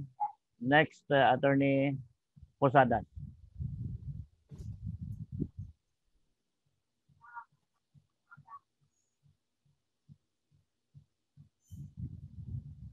Ah, please unmute. Okay. Yeah, yeah. Yeah, yeah, yeah. Un- unmute. Okay. Uh, can you hear me? Ah, Mel, Mel, Attorney Mel, sandali Oo. muna. Si Sir Bot muna. Si, Ah, sige, sige, sige, sige. Hindi, hindi na. Uh, I was just about to say that I will not comment anymore. Uh, I just asked, wanted to hear the other comments as well. Okay, okay. Thank you. And uh, okay, Attorney, Attorney Mel, you, are, you have the floor. I will just take off from the statements of Senator and uh, and Professor Butch. No, uh, I'm glad I heard more revolutionary words from Senator Lina, and also the analysis of Professor Butch about the the oligarchs, because uh, coming from my background from Comolec, uh, sad to say, you know, we are guarding hard against Smartmatic but we we we seem to forget another a, uh, a new brand of cheating that's emerging which we, are not paying much attention to under uh, chairman abbas. If you notice the our voter database is unusually bloated unusually. Uh, i personally uh, i had i had an experience when i was still in that there's this group of islands in the west philippine sea or between uh, between tawi-tawi and uh, and malaysia the Turtle Island groups, the Mapon Island groups, the hinterlands. There are precincts there that do not exist. Uh, there, there are uh, people there who vote, but they don't exist. They, they only exist electronically. And that, that seems to be the new brand, the, the, the new wave of cheating for 2022 under Chairman Abbas. Because he is uh, from Mindanao, he knows the hinterlands very well. He knows places where which we cannot audit. So in other words, even if we are if, even if we are able to select a very good, a very perfect candidate for 2022, which which I doubt, no, no I doubt if any such person even if we we are able to vet a candidate, a good one, the problem is voting. Who will who will count the votes? Electronic voters who do, who have no real existence, they will be the one. They will vote in favor of a favored candidate favored by Smartmatic and by the new the new brand of cheating, which is the bloated uh, bloated voters, uh, electronic voters. So hopefully you can pursue more the revolutionary aspect. In, in, in fact, this this group this group of uh, Gil Ramos is is proposing to go back to the original the original 1899 constitution which by the way i'm i'm, I'm still waiting for a challenge i, I gave out the challenge to anyone to prove that the 89, the, the original saligang batas na soberanong saligang batas ng 1899 ay na-repeal na. Was it ever repealed? Was it ever abrogated? Was it uh, is it still, is it dead or alive? Because the 1935 Constitution forgot to repeal it. And all, all subsequent constitutions that we have, all the way until the 1987 constitutions, they were based on 1935. So, legally, tech, legally speaking, 1899 Constitution is still alive today. We have two constitutions alive. And whoever, you just have to recognize that. You just have to recognize that there is another constitution that is alive until now. Because what, what we have what we have is a bastard. Actually, we, are having a, a situation wherein parang kinasal ka sa dalawang uh, sa maraming tao no yung original na kasal yung lihito mong kasal ng sambayan ng Pilipinas sa saligang batas ay yung 1899 parang second bigamos na itong ano 1935 Constitution. Trigamos itong 1943 Japanese Constitution, Mickey Mouse Constitution. Quadragamos na itong 1973 ni Marcos. Pentagamos na itong 1986 ni ano Cecilia Muñoz Palma and hexagamos hex, hex, ano parang hexagamos na itong ano itong 1987 natin ngayon. So parang anim ang pinakasalan but there's only one. There's only one original which is the 1899, a valid and subsisting marriage between the Filipino people and the 1899 Constitution, which is still alive until today. So we, we just have to recognize, we just have to, I call it ancestral honor recognition. Honor our ancestral honor. Recognize our ancestral honor. We have an existing constitution. If there will be a wicked political dynasty after 2022, after Smartmatic proclaims the wicked political dynasty in 2022, we have this 1899 constitution to say we, we, have, we, have, we have our own government under the original soberanong saligang batas. I hope we explore that angle because legally speaking, I am willing to challenge anybody to prove that the 1899 Constitution ever died. Did it ever die? Is it dead or alive? I'm, I'm posing the challenge to anybody and I'm willing to debate with anybody.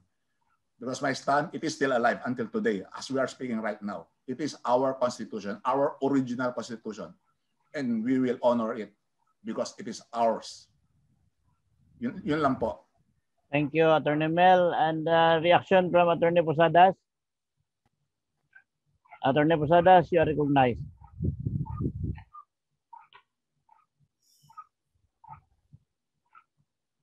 While we are waiting for Attorney Posadas, uh, in reaction, in reaction from uh, uh, let, me let, let me just react uh, very briefly. Okay, Senator Linal. Attorney Mel said, no? Uh, number one, there are many battles that we have to uh, uh, face. The biggest battle is the battle for the hearts and minds of the people. That's why I said a leadership that knows what to do recognizes that unless the people hearts and minds are won over, then uh, we will never win any the, the total war. Why? We will just be a voice that is not being heard and accepted.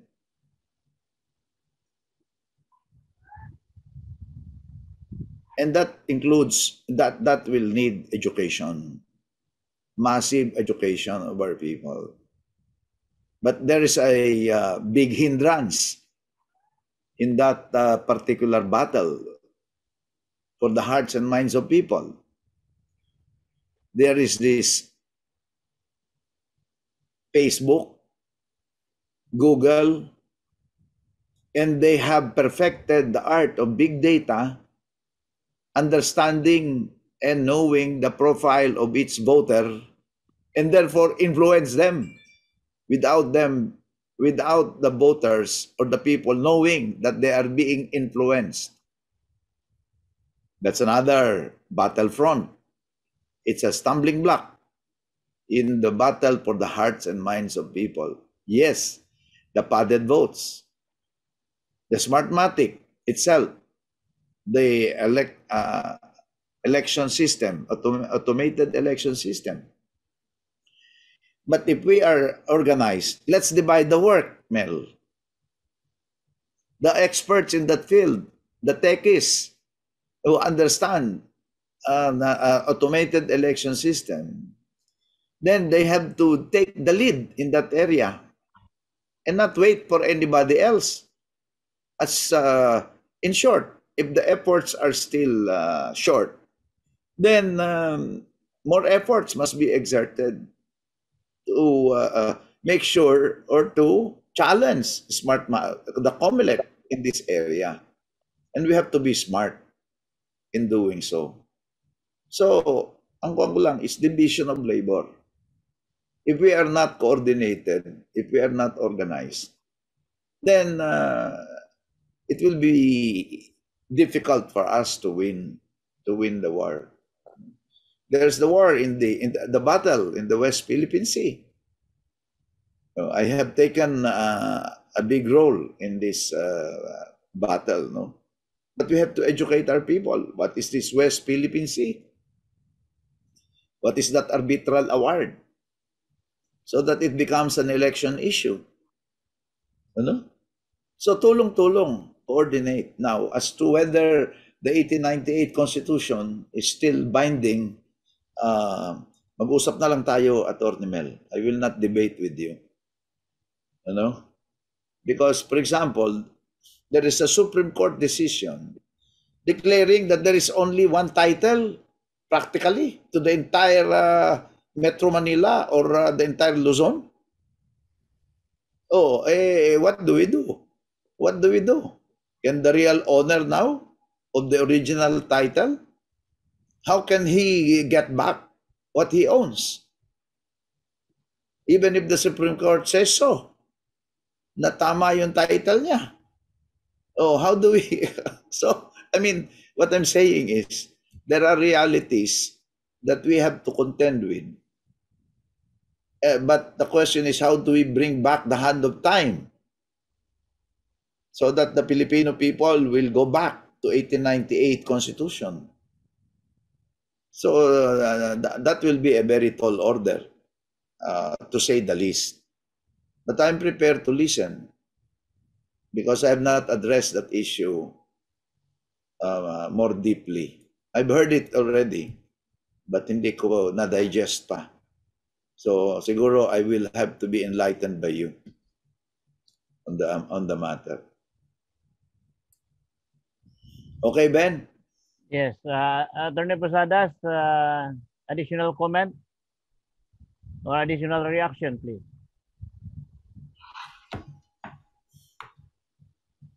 Attorney Posadas.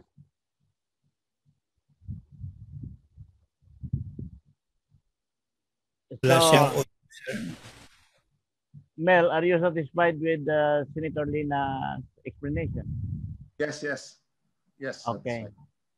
So, any comments or reaction from uh, anybody?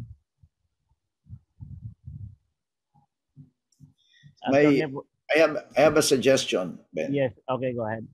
So so that uh, um, we can squeeze the juice, the sweet juice out of this uh, uh, encounter. May reaction na ako, no? May reaction na ako, no? Ah, Sige, sige. May question na ako, no?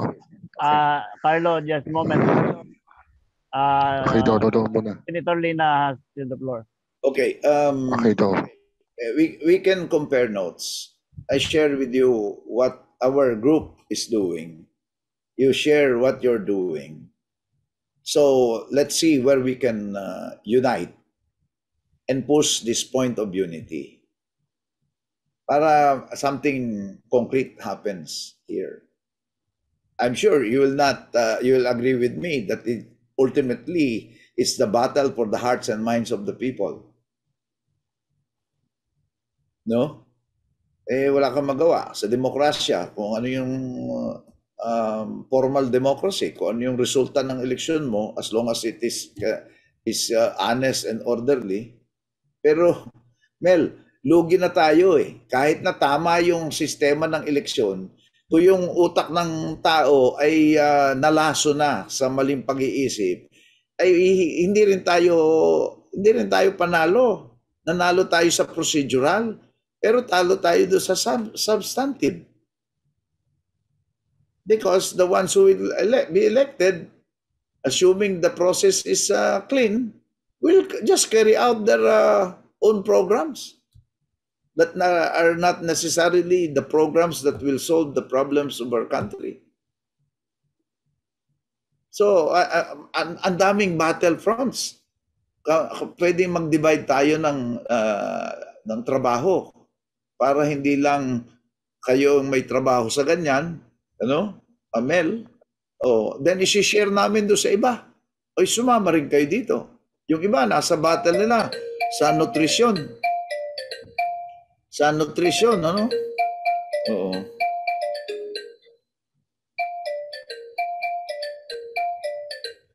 Oo. So, y- yun lang, para lang konkreto, ano? Okay. And I will just coordinate with the uh, maybe I don't know to Hill or, or to Mel. Uh, we can so that we can coordinate our efforts.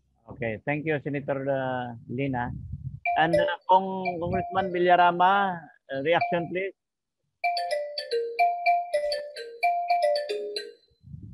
Hello, hello. I, I'm Kong, I, Kong Villarama. mo. po. Ah, ah, magkasama po kami ni Senator Joey sa isang grupo matagal na. Kami nila Mel, no? So Sige. nagkakaintindihan kami at maganda yung kanyang proposal na magpalitan tayo ng mga konkretong ah, pangarap natin at anong ginagawa natin at the moment para sa ganun malaman natin saan tayo pwede magsama-sama at yung kulang na mga issue hanapin natin yung mga grupo naman na expert o itinutulak yung mga issue na kailangan. Eh, yun lang po. Okay. Attorney Posadas, uh, are you still here? Any reaction? Ma'am Wilma Manzanillo. So if you have some suggestion, reaction, etc., etc., please raise your hand.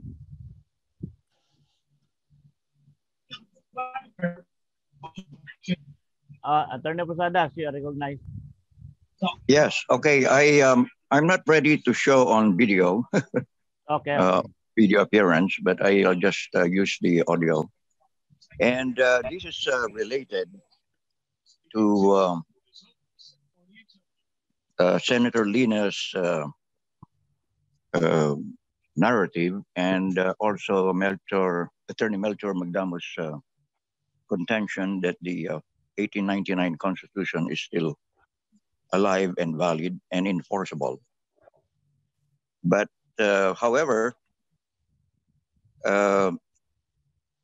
there is really, it can be debated whether the 1899 Constitution is alive and valid and enforceable or not. But uh, there is a way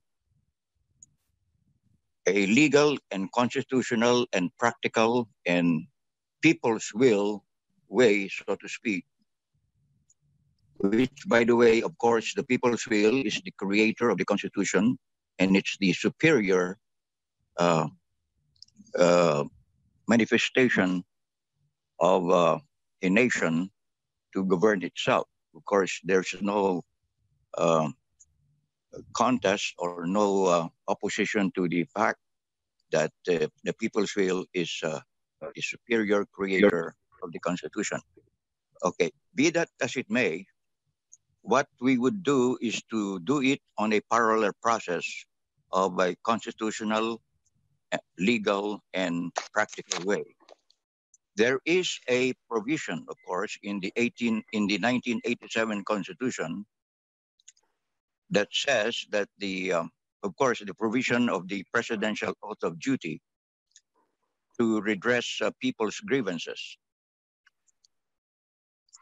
And need to do Hello.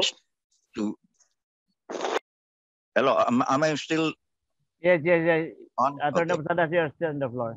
all right uh, what we can do is to invoke that uh, constitutional order of office uh, in this case uh, president uh, duterte's order of office in the uh, provision of the 1987 constitution to redress people's grievances and people's grievances can be done in a legal constitutional way through that uh, um, through that uh, out of office uh, duty in a uh, plebiscite uh, uh, petition for a referendum that will, of course, go all through the requisites of a referendum requirements. That if it's passed, then it will require President Duterte to redress it by ordering a referendum. And ordering a referendum that uh, if the people or a majority of the people through a plebiscite will approve the adoption or shifting of the Constitution to the 1899 Constitution. Now, whether the 1899 Constitution is alive or valid, it doesn't really matter because once the people, uh, people's will expresses in a majority according to the requirements of the plebiscite, then so be it.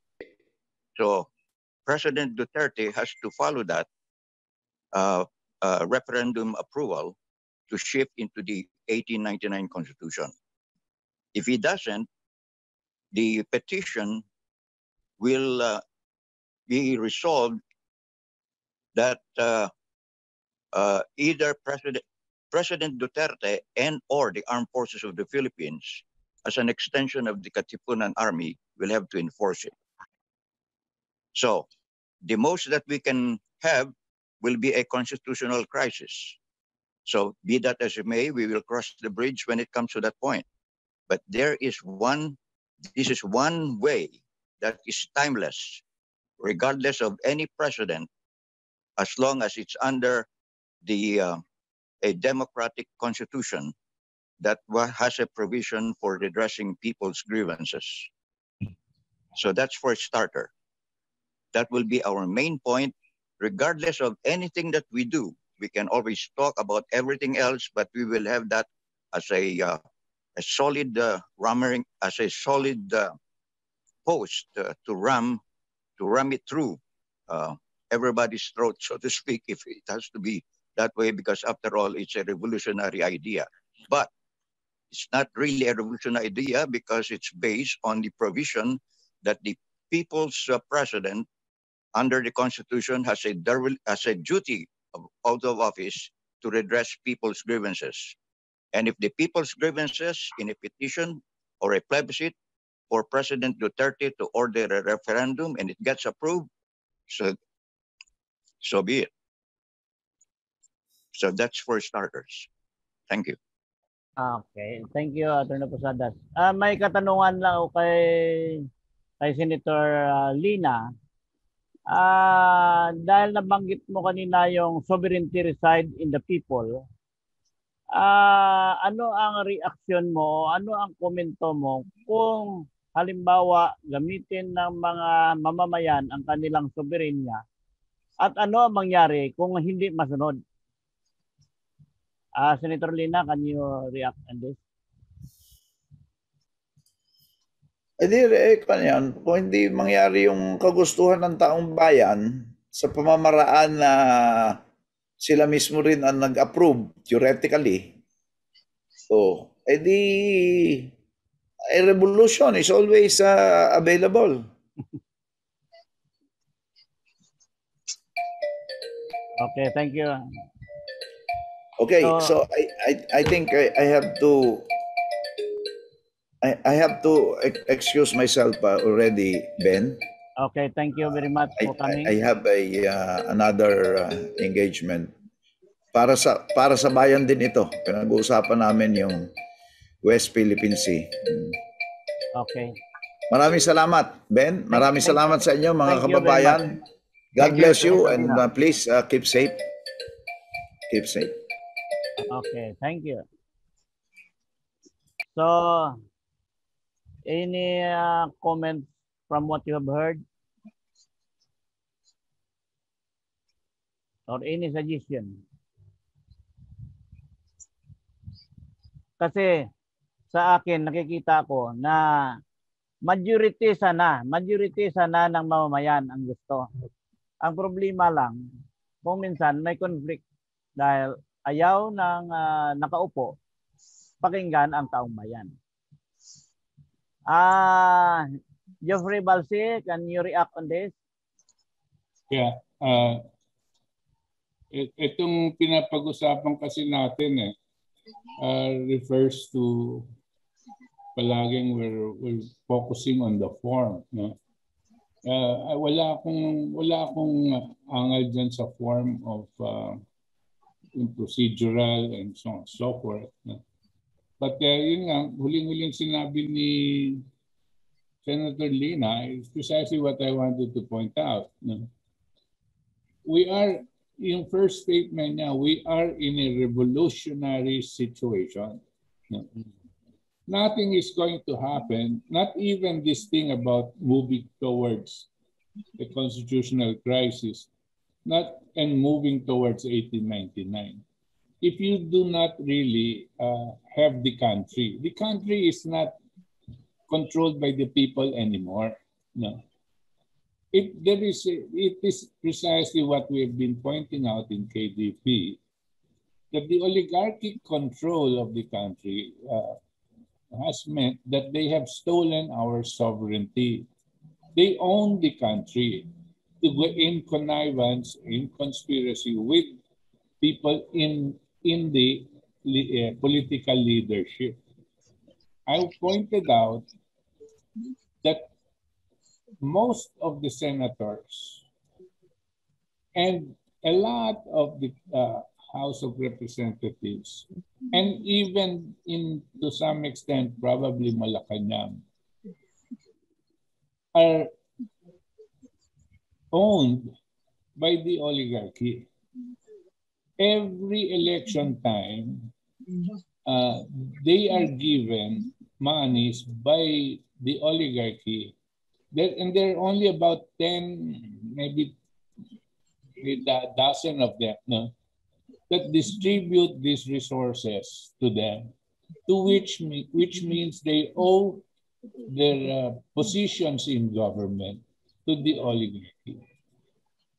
Let us not uh, be fooled to think that the so-called oligarchy, while they earn roughly about maybe six, five to six trillion pesos a year on the country, will not be able to buy up the whole election by giving a couple of billion pesos to the COMELEC. Uh, use, use your imagination if they earn and they collect about five to six trillion pesos, I'm talking about um, electricity, water, and telecom only. How much does it take in order to be able to control Malacanang? 50, 100 billion, barya lang po yan. How much does it take to tell the COMELEC these are the electoral, eh, these are the electors that we want, uh, elect, um, eh, candidates that we want to come out. Barya lang sa kanila yan. And uh, the sad part about it is The ones giving them the money is coming from us because we decided to privatize these public utilities. Ang public utilities po, gakasan talaga yan. Gakasan. They don't really even have to put up their investments from, uh, that, that uh, will give them the, the type of income they want. What they're getting is a privilege. It's a privilege of taking control of the public utilities and collecting from the people almost at will whatever they want because their agreements with government is government must not intervene. Okay. Yan ang kanilang yan ang kanilang position, no? Now you cannot we cannot at this point look into this change in forms. We cannot look into this change towards 1899 and all unless there is a there is a physical takeover of our country. Okay. Now, without that physical takeover, no, um, wala. Para tayong ano, we, we forget that there is an elephant in the room and yet we are discussing uh, to high heavens everything that is idealistic. No? Okay, Butch. Yeah. Okay. Can I? Attorney Posadas, you are recognized. Hi, Professor Butch uh, Valdez, uh, Robert Posadas. How are you? Yes, Robert. Magandang, magandang Okay, yeah, sa'yo. yes, uh, it's very, um, very true and realistic. And uh, of course, this will be all taken into consideration, but I can make an analogy of uh, this situ- situation right now. Uh, we're kind of a little bit uh, confused, if not totally confused, between the horse and the cart. Now, let's consider that the cart is the revolutionary government or the complete change that we want. It, in this case, specifically the 1899 Constitution, because uh, it's based on the fact, overall factual basis, that there is really a deeply entrenched, uh, a deep-rooted corruption of oppression and uh, suppression in various subtle shapes and forms. So that what we're trying to do now is, of course, get organized the horses to, at this point in time, at least to push the cart. But we have to agree on the cart. We have to organize the cart. We know that, of course, uh, these uh, these uh, powers that are now in uh, position will not uh, uh, will not uh, give up. They they will they will re- they're, re- they're really deeply entrenched and and in, and in power. So it's understandable in any revolution they will also fight to the death. Who wouldn't? So it's understandable. But the cart that we want now is something that we can organize and rally around with so that in the process of building the cart, we will now educate uh, the people and get them on board. And this is what by I mean by at least starting with a orderly and a and, and constitutional and legal uh, petition for a referendum that will start or spark the the, uh, the fire that will now spread for people to gather or to um, to um, uh, to centralize around so that they can at the same time be educated what this is all about because in in pushing the petition there's also the process of letting them know what the petition is all about. So they will be uh, educated on the grassroots level that what the petition is all about is for a complete orderly change without which nothing will really ever happen.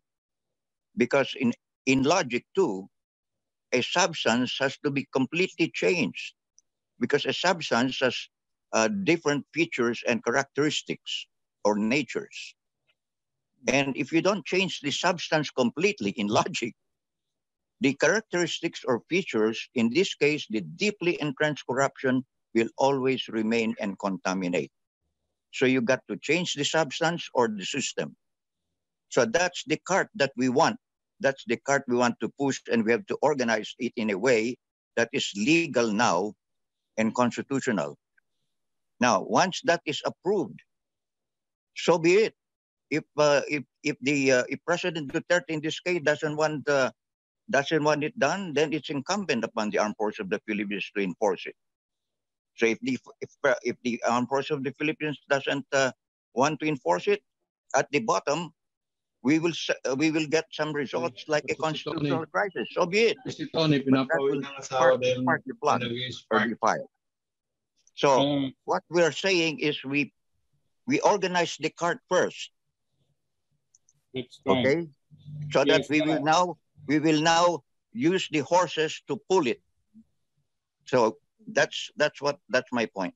Okay, thank you, uh, Yeah. Posadas. Uh, reaction Uh, from let- uh, Abot. Let me, let me react, Tony. Uh, I do not disagree, except that uh, uh, it, it is uh, when we talk to the people, when we get the so-called people, the masses, to understand uh, this thing about the 1899 Constitution or the need to change the Constitution, uh, I would think that it is uh, not as exciting or compelling to them no, as what uh, what they might feel in their stomachs. no.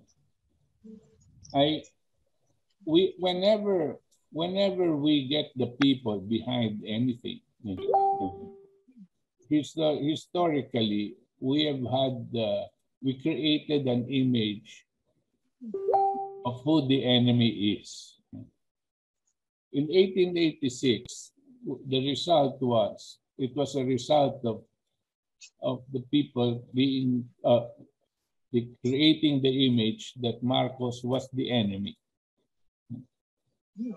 And subsequent changes in government as well. We focused on the individual leader as the enemy. And prior to that, uh, in the same way, uh, there have been uh, individuals that were used as the enemy in order to get elected.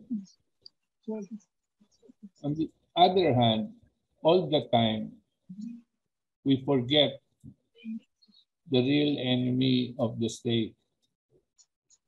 And it was when you're out, the one that had taken over our sovereignty.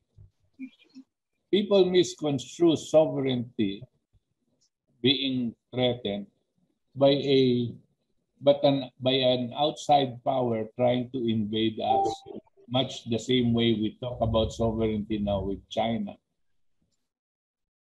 But the more insidious attack on our sovereignty is the one from within. The one that you didn't notice. The one that had been uh, uh, given the privilege no, of deciding who lives and who dies among the Filipino people. That's the present enemy of the state. We do not control our country. Not even with that referendum are we going to get any kind of result. That's my opinion. In order to educate them on the benefits of the 1899 vis-a-vis the 1987, before anybody or a, a, a critical number of our people get to understand it, this is amidst all the uh, crisis that we face, the health crisis, the economic crisis that we face, while they are starving, while they are dying, we will talk to them about the Constitution. Now, we have to identify who the enemy is. And once we take over, once we take, they, they understand that it is because of this oligarchic few in connivance with government officials that are the true enemy that are causing all of this suffering from them uh, that they are experiencing. Then we will get the people together. If we can tell them that once we take over back public utilities like electricity, and they will be given up to 60%, 70% uh, rebate or discount on their electricity bills. And that is a very real possibility if we can take it over. Uh, what do you think the public is going to react?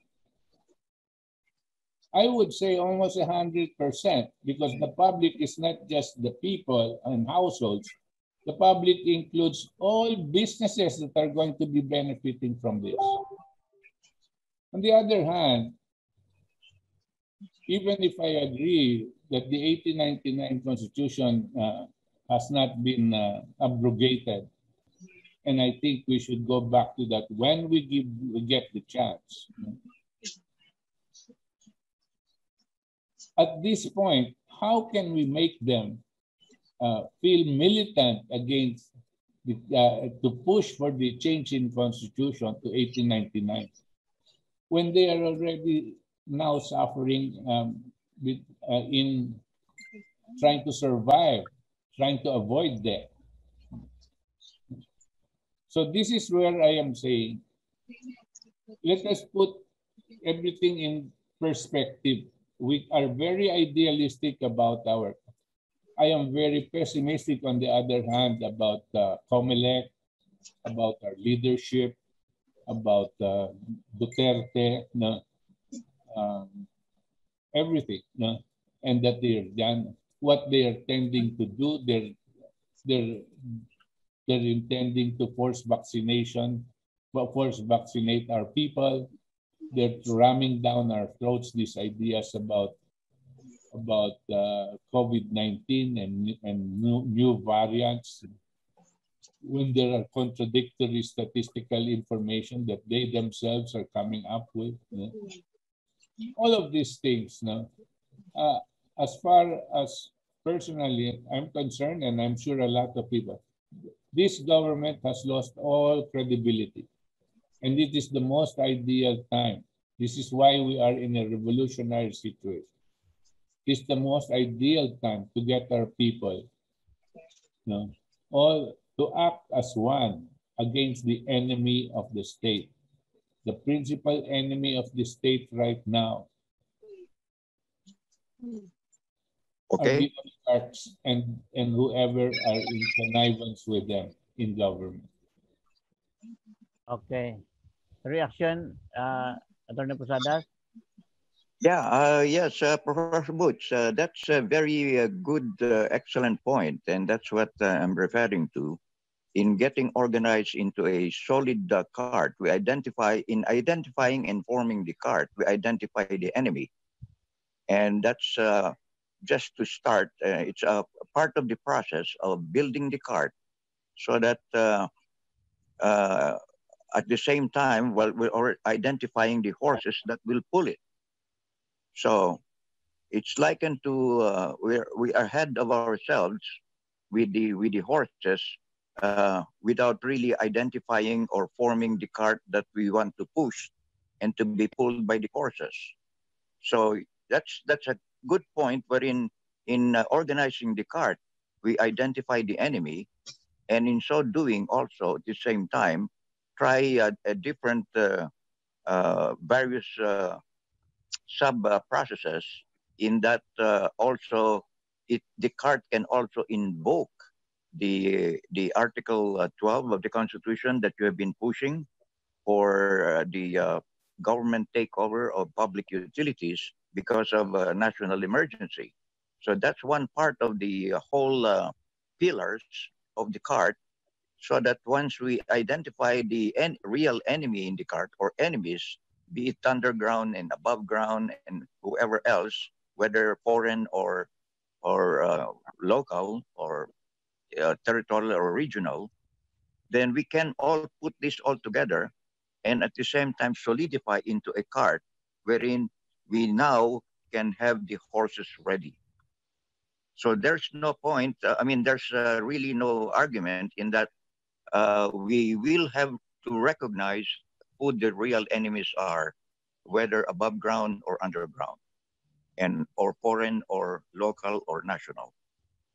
So, so my point is to get organized around this cart that will consider all of these uh, uh, narratives and processes. But we have one solid um, uh, ramming point that will solidify by all these processes, meaning identifying the enemies, educating the people. So this needs to be organized into one solid ram that whether it happens or not, it can have traction. Whatever the result will be, so be it. Be it uh, uh, we the result will be uh, a uh, a revolution or not, but we still have we have to start something because we cannot uh, just wait for these uh, people or President Duterte to to apply the national emergency on public utilities. We just have to have a spark, a solid spark that will be part of the processes in the cart. Uh, okay. So, Attorney Posadas, kaya kanina tinanong ko si may tanong ako kay Senator Lina uh, ano ang mangyari kung if the sovereignty of the people was exercised but the government did not uh, heard what uh, they are clamoring. Ano ang mangyari sa kanya paninaw pero hindi niya nasagot kanina yon pero para sa akin sa lahat na nakikinig we have our constitution may kasabihan when the law the law I mean all laws are made by man once the law is violated and that needs to be amended So kaya yan nga na ang 1899 Constitution dapat lang kung hindi naman ito nasunod ng 1987, let's go back to the 1899. Yes. Constitutional crisis will be the bottom line. So if the, if the Supreme Court has to act, if the Supreme Court doesn't have to act, then it's also the relic, the, uh, the relic on, on its duty. So now we have utilized every means and effort to make everything peaceful and orderly legally and constitutionally, when even the constitution, when the Supreme Court itself, which is the uh, the uh, the institution to protect and enforce the Constitution, uh, does nothing about it, and so and so be it. Then there will be a revolution, and let the armed forces take its sides. Hmm. So wouldn't it be better for the armed forces to to just uh, invoke the uh, the plebiscite or referendum, whether it's been approved or not, that it's the people's will because after all, it's been started and we have exhausted all means and ways to, to have a complete change because without complete change or logical change, nothing will ever change. Okay. So it will be useless. Yeah. So, uh, so it will a... be a constitutional crisis after all, and let the Supreme Court decide on it. And if it doesn't decide on it, let the armed forces take over yeah. whether for the people or for the present government. Let something happen. Then that will create this spark. Uh, Attorney Posadas, I think uh, Geoffrey Balsi has a comment on that. Geoffrey Balsi, you are recognized. Please unmute. Geoffrey Balsi, please unmute and uh, say something. Yeah. Okay, please unmute.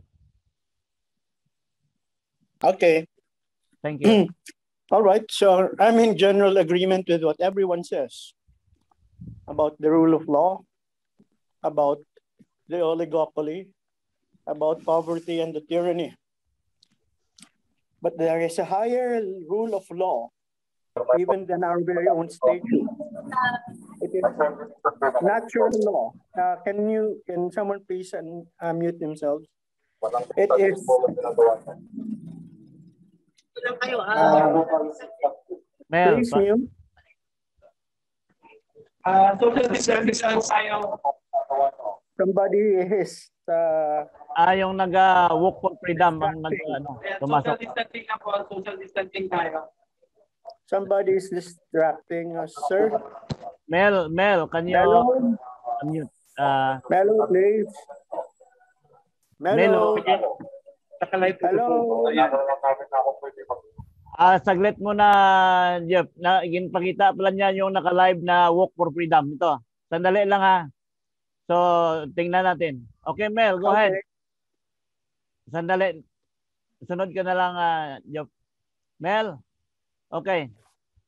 Makita mo ang naka, nagalakad sa ulan. Okay, kasalukuyan pong may, may militang dito permit, no? So, pinahanap kami ng lugar. Teka lang, malakas ang ulan. Okay. Bilang mga tagapaglaban ng si Al. kalayaan natin, oh, Al, sa Constitution. So, Al. Yo. So, ano balita, ano balita sa inyo diyan? Ah, Opo. Siguro po. tayo. Sige, start na tayo. Sige po, mag-march na po tayo para habang naglalakad po tayo, ma Nasaan na kayo natin, no?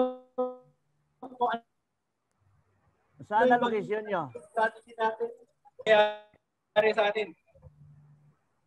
Na ito, sinunsad na po natin ang paglabas ng declaratory relief para sa mga kapatid nating polis at militar na nako-coerce para magpapakulam. So today, pakicontact po yung mga kapatid nating kapulisan na kung kayo ayaw nyo na magpapakulam, nandito po ang missing Maharlika. Ah, ilabas na po namin ang form para kayo po ay makapag-fill out at may paglaban ninyo ang inyong constitutional right to life. Ang magiging strategy po natin, magsasapa po tayo ng kaso sa buong Pilipinas. Buong Pilipinas, isimulan natin, hindi nila alam kung saan, pero buong Pilipinas, magsasamba tayo. Ngayon,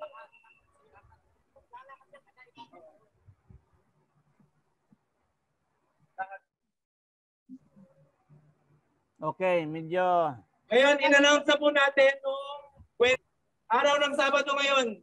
Kaninang madaling araw, may kumontak na po sa atin. Pakikipagkampihan na huwes galing sa Mindanao. Susunod-sunod na po yan. Kaya wag po kayong mag-alala. Tuloy-tuloy lang po ang ating pagsusumikap. At tayo ay lalaban para kalayan ating pamili at kalayan natin na magtipon-tipon para ipahayag ang ating mga salubin. Ah, ito na natin ilalagay ito. Okay. So sa mga Okay, nanonood Al. po ngayon, narinig ko po si ano? Si Thank attorney. you. Ah, Oo. ngayon po ay ano na tayo, magmamarcha na po tayo. Saan location nyo ngayon? Ah, sundan po lang natin. Sundan po natin ang truck ng KDP. Ayan, nandito na po ang Patriots. Ah, KDP. KDP ang diyan. Lalaba. Dami nyo pala.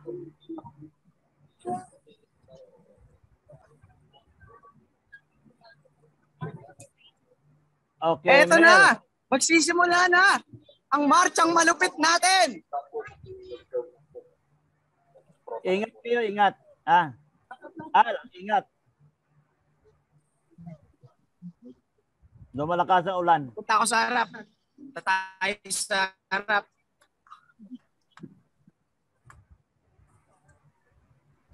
Magkasama na kayo ni Nakapre at Ah. saka ni Rock. Ay, saglit lang po, mag-headset ako. Lang po, mag-headset ako. Sabi ko, magkasama na kayo ni na Rock at saka ni Kapre. Hello po. Magkasama na kayo ni Kapre at saka ni Rock. Hello po. Yes, marinig mo ko. Yes po, andito na. Ito na, nasa si attorney. Ito si Capri, kasama ko na ngayon. Okay. lang tayo dito. Tapos, At ito ang mga Patriots. Sa likod. Mga nakapayong. Pero tuloy. Mabuhay kayo.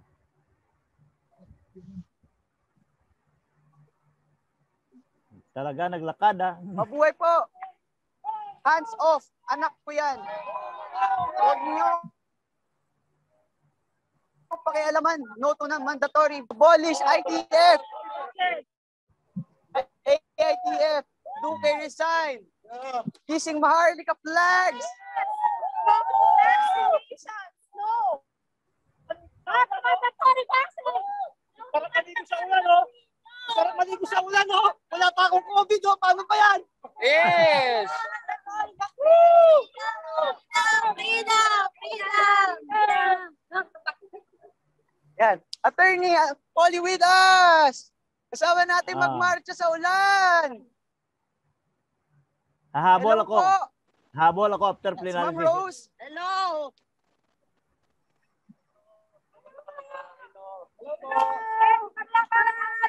To vaccine! I will make you vaccine! No to vaccine! Freedom po! Freedom! Para sa human rights namin! Hindi na kailangan na ang bakuna!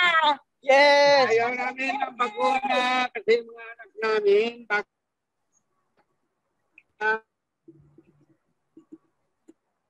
may problema. Yes, medyo tayo sa una ng pila. Grabe, ang dami Patriots nakakatuwa. Kahit umuulan din naglalaban nila yung mga karapatan nila. Woo, woo, woo! Ingat kayo, ingat. Nakakatuwa. Maraming salamat po. No, Okay, ah, kung may thank mga you very gustong much. Patriots na Al at ah, magsalita, ayan, may area tayong pupuntahan. Thank you po, thank you. okay, thank you very much. Ingat kayo, ingat. Salamat po, salamat po. Okay, thank you. Mel,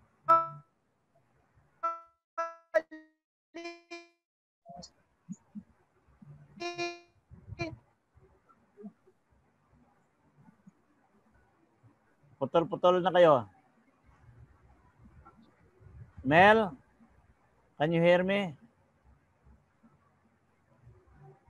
Nawala si Jeffrey.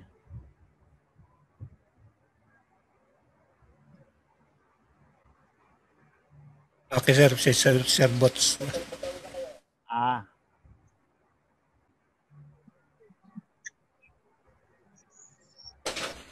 Okay, share mo kay kay Professor Bots. Pakinggan natin ang kilipi.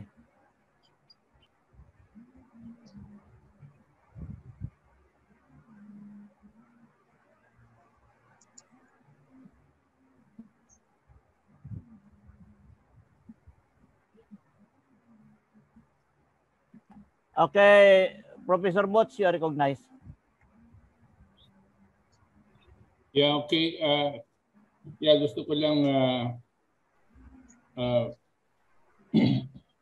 mag-congratulate dito sa mga nagrarally ngayon sa may baklaran. Uh, bagamat uh, malakas ang ulan, bagamat malakas ang ulan at uh, bumabagyo, andyan pa rin sila at uh, at uh, nagsasacrifice para lang may pa hiwatig sa ating mga pamahalaan at sa mga tao na uh, ang uh, ang uh, Gising Maharlika at ang KDP at ang mga iba pang mga kaalyadong uh, organisasyon na na kasama dito sa rally ay uh, naninindigan at uh, hindi kami uh, pumapayag uh, dito sa plano ng gobyerno na gawin mandatory ang vaccination.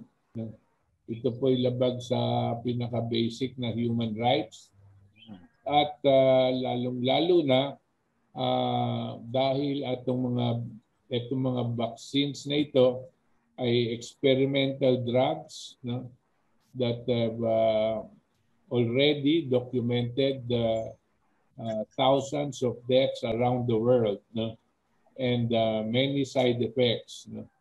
At uh, kami po ay nag-aalangan hindi lang sa aming mga kalusugan, kundi din sa aming mga kapamilya na baka may mangyari sa kanila at uh, hanggang uh, baka mamatay. Dahil uh, marami na rin cases dito sa Pilipinas na hindi masya, hindi rin i-report ng DOH pero namamatay sila pagkatapos nilang mabakuna. No? At ang aming pong mga ibang uh, uh, kamag-anak, uh, ganyan na rin ang nasapi. Dalawa, dalawa na po yung uh, halos bontik ng mamatay. At, at ito pong mga vaccination na ito, ang ginagawa nila, pinapapirma kayo ng waiver bago kayo mabaksin. No? Waiver. Ang ibig sabihin, kung ano man mangyari sa inyo, magkasakit kayo, mamatay kayo o magkaroon kayo ng malaking diferensya, wala pong pananagutan ang uh, gobyerno at ang yung mga nagtuturok ng uh, ng injection sa inyo. Wala po silang pananagutan. Ito po ang nakakalungkot uh, pangyayari ngayon mga panahon na ito. Hindi lang yon pag sinabi nilang na namatay ka sa COVID, agad-agad kinikremate ka para wala nang ebidensya at wala nang uh, mag-autopsy kung ano talaga ang kinamatay ninyo ng mga kamag-anak nyo. All of these things are uh, are against uh, uh, the Nuremberg Code no? uh, na sinasabing uh, ang uh, ang tao ay dapat uh, hindi pipilitin minom o magpabakuna uh, para magawin siyang eksperimento. No? Kinakailangan naiintindihan niya at kinakailangan uh, yung mga namamahala na gumagawa ng eksperimento uh, ay uh, kailangan mananagutan dito sa kanilang mga ginagawa. Kami po sa KDP at sa Gising Maharlika, uh, nakikisa dito sa Worldwide Rally today, happening today around the world, no? against uh, mandatory vaccine. Oh, yeah? Oo. And promoting, promoting uh, ivermectin a curative, uh, uh, a curative uh, drug together with the hydroxychloroquine as a curative drug uh, that the government refuses to promote. No? Uh, yan po ang aming uh, pahayag. Thank you, Professor Bot, sa mga information at nakikita namin na uh, kahit maulan, rain or shine talaga, uh, ang ating mga patriotiko ay nakipaglaban ng kanilang mga karapatan. At pagkatapos ng plenary natin, nahabol ako sa kanila. So, any comments? Geoffrey, where are you now? Me. Ayan, sorry. Naliligo na lahat. Hanapin ko muna going to Attorney Aaron ha. Okay, so sisikapin Ah. namin yung sasakyan nasa gitna para makapagsalita siya habang hindi pa tayo pinaalis ng mga militar. Si Attorney Anyway, Aaron. So ayan, nakapila po kami ngayong lahat. Nakaready po. Okay, nasa na ba? No, pwede mapakinggan Ito- si Attorney Aaron. Ayan, ito na po, sir. Yan. Sir, live the Zoom. Hello po, hello. Okay. Hello po. Asan po yan? Salita. Hello. Kamusta kayo? Marami ba nanonood dito? Ah, ah, marami. Marami. Ah. Hello po sa Ingat. Ingat. Ah, sana kung nasan man kayo, ah, mag-video rin ngayon tapos ah, lumabas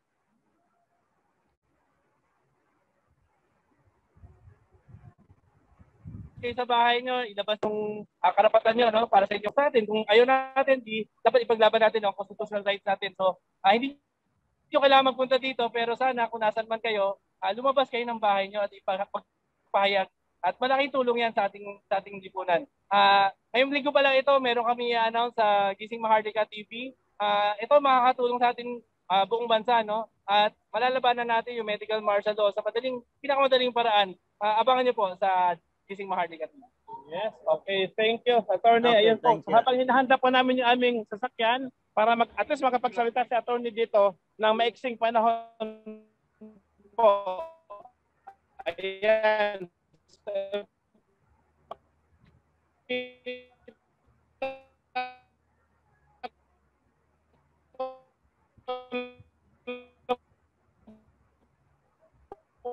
Putol-putol ka na.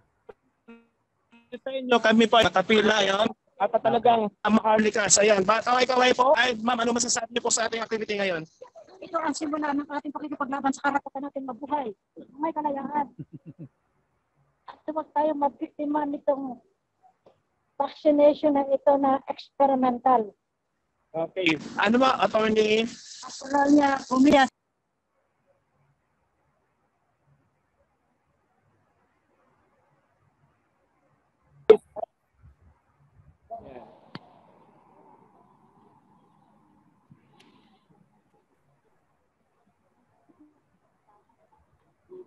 Mga abogado pala natin, nagapaulan.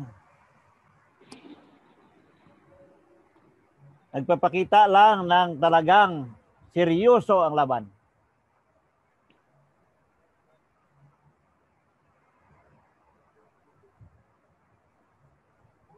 So sa mga naka sa mga nag-obserba at uh, nakakikita mamaya pag uh, na-post ng Gising Marlica ang mga kapangyari mga pangyayari sa daanan diyan ninyo makikita na talagang ang mga patriotiko natin ay talagang mga patriotic.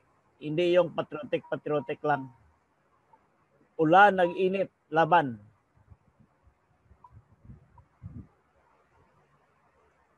So, any comments from uh, anybody?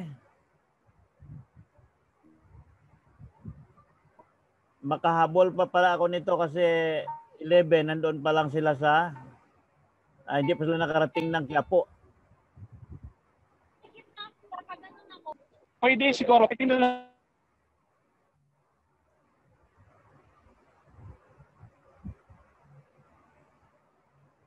Ah, pasensya ang ah, ang mga naka-abang no kasi hindi lang ang, ang napag-usapan ng shadow government kasali sa ngayon ng uh, Walk for Freedom ng Gising Marlica.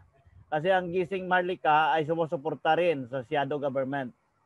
So pasensya kayo na putol-putol ang uh, dating ko minsan ng mga naka uh, naglalakad papuntang uh, UP entrance pero balita ko, nandun pa lang sila sa, aywan ko kung na, yata sila nakalampas ng Quiapo. Nasa Baklaran pa sila? Nasa Baklaran pa sila. Malamang maghapon to. Hapunan tayo doon sa UP mamaya.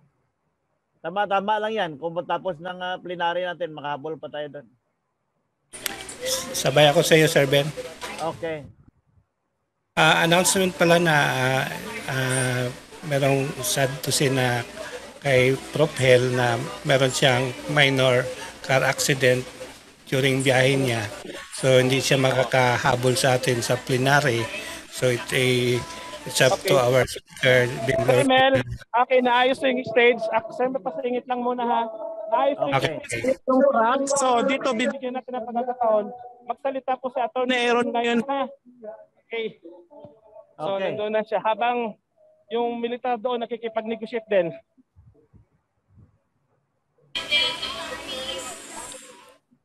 Ito yung may may, yung may, may four. Itong ano na to. Yan, dito siya. Okay, uh, magsimula na Sir Mel ah. I-ano ka lang. Okay. Okay. Magandang umaga ulit sa inyo mga ka-GM, ano, sa mga ka-Patriot, mga kababayan.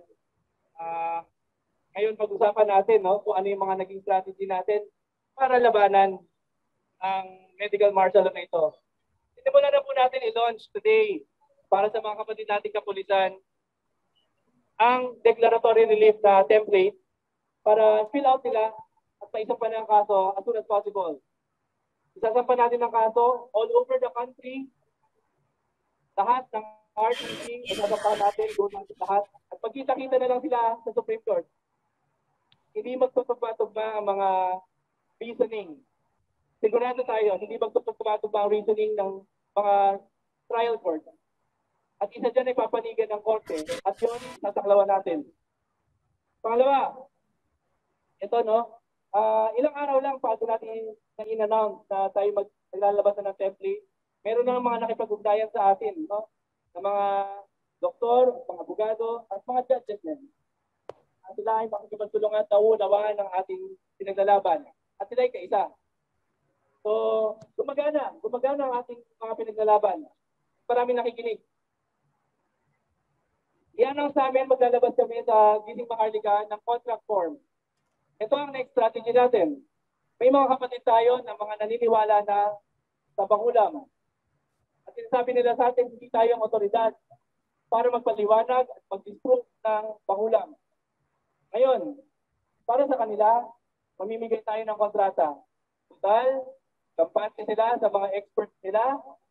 Ang kontratang ito ay para sa mga doktor o kung sino man ang magpapakulam sa kanila. Ipapaliwanag lahat ng risk. Dapat ipaliwanag nila lahat ng risk na makukuha sa bakulang. Lahat ng pwede nilang matapong, tumapong sakit sa kanila at lahat ng pwede maging epekto kahit kamatayan dapat nila ipaliwanag. At kung at kung isa man dito sa mga epekto na ito ay tumapong sa kanila, dapat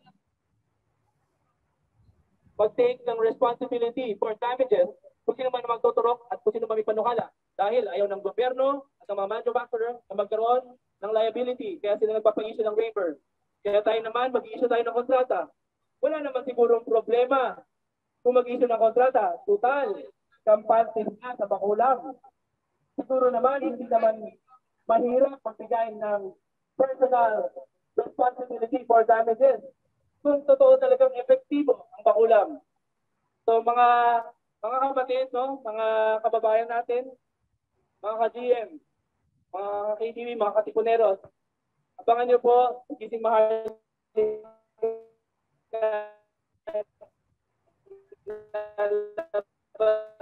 natin at tulungan din natin. Hindi lang yung mga mga nabilog na ang uno. So, maraming salamat na nandito kayo. At kung saan man kayo sa panig ng Pilipinas, huwag kayong mag-alala. Lahat ng problema natin bilang bayan, bilang bansa, hahanapan natin ang paraan at paglalaban natin dahil tayo sama-sama. Maraming salamat po at magandang umaga. Thank you, Attorney Aaron. Salamat. Attorney Aaron. Ah, sino pa ba? Ayan. Ayan na. Palakpakan po natin ang Compacte Superstar. Magandang umaga sa inyo lahat. Pasensya na sa late ako yung may uh, sakit pa rin. At uh, pinahali ako ng gising talaga. Ano, inabot. Gising pa ako ng lulundog. Salamat sa inyo dahil hindi kayo nagpatinag. Rainer Sen, nandito pa rin tayo. Mabuhay kayong lahat. Lahat ng mga katipuneros natin at uh, mga kamahaligan sa sumapay-pay sa amin mula noong kita at tumutulong sa ating mga aktibidades. Uh, kayo ay, ay hindi napagod at tuloy-tuloy ko na at masaya ako na nakikita ko kanina, kinikilig ako na nasa taxi pa lang ako dahil ang dami na natin, dati anim lang kami. Ayun, mga 600 siguro na. Salamat. Salamat, Brother Rock. Ang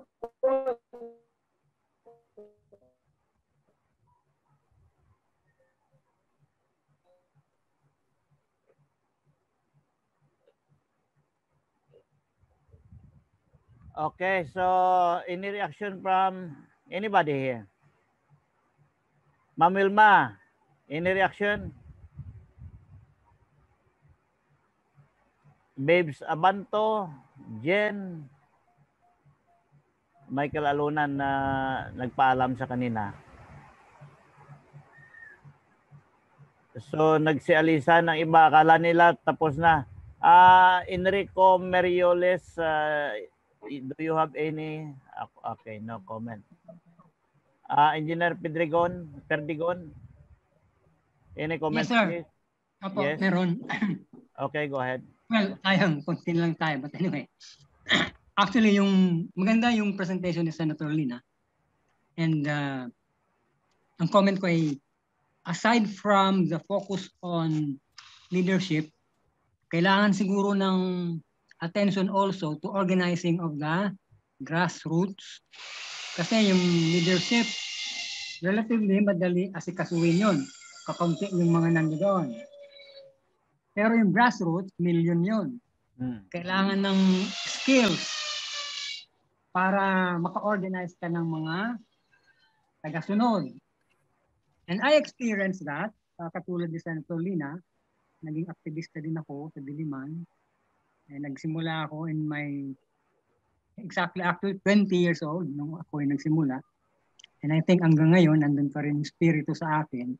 So yung organizing is very important. And how do we organize? Along issues, causes na familiar sa kanya.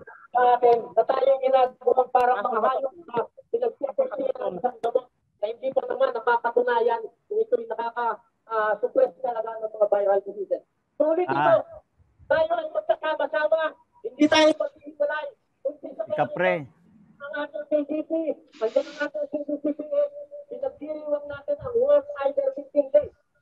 So sama-sama tayo, lahat tayo ay mayroong proteksyon, National Protective Services, at marami pa na dapat tayong uh, ipagpaglaban. Itigil natin ang tatlong bagay. Unang-una, yung suppression, yung intellectual proper uh, uh, dishonesty.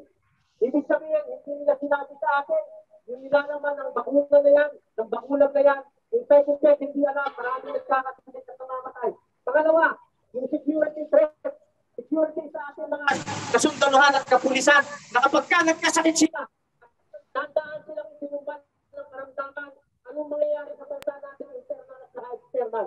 At pangatlo, pinaka-importante, yung crime against humanity na hindi nila itinabalita, marami nang nagkakasakit, marami nang namamatay. Yung tatlong bagay na yan, kailangan pakipaglaban natin dahil karapatan natin yan. Maraming salamat sa pagsuporta sila. Maraming salamat sa Rose Palacio na pinasuporta sa atin.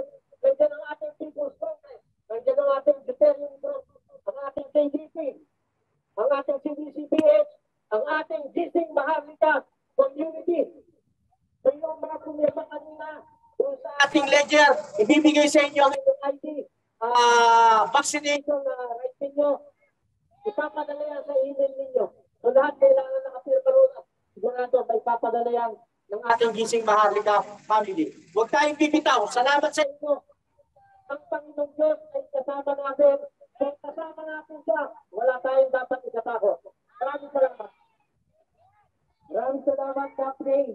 Ah, kung sino pang gusto magsalita, ah, mamaya papasalitan ko natin si Atty. Polly.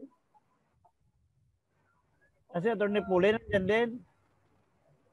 Sige po, ah, gusto ko pong magsalita sa mga kapwa ko Pilipino ngayon, mga kapwa ko tao. Sinong tao dito?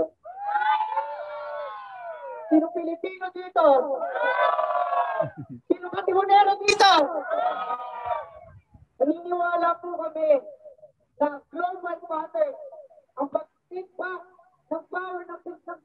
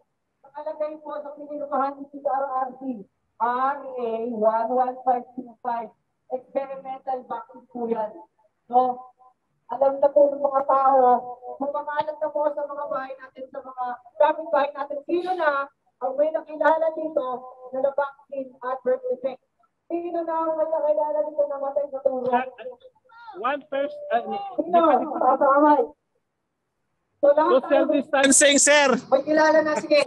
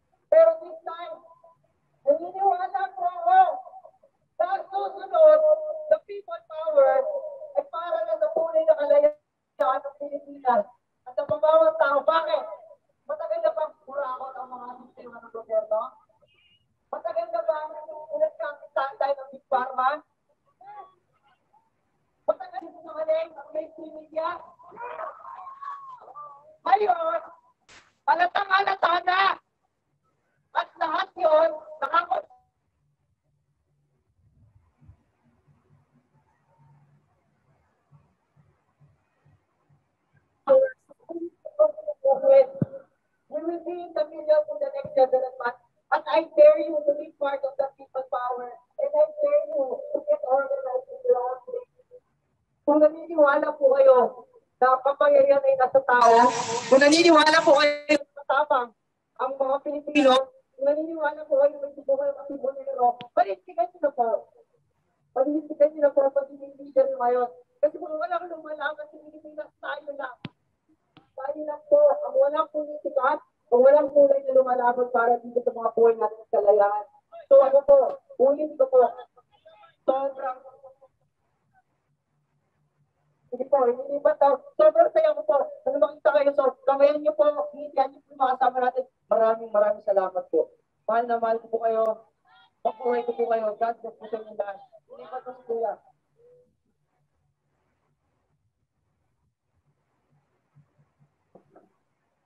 Kanino to?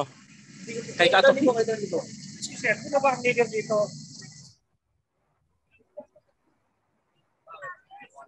Kayo na si Suffer. Tapos na, tapos na. Alis na tayo. Asan si sila, sila ano? At tapos na tayo. Saan sila kapre? Tapos na. Oo. Asan sila kapre?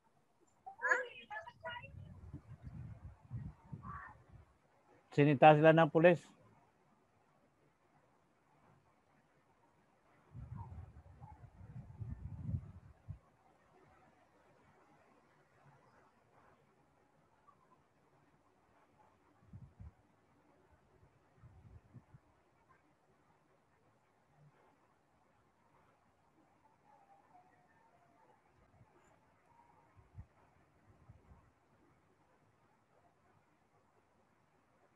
Nagka-problema yata sila.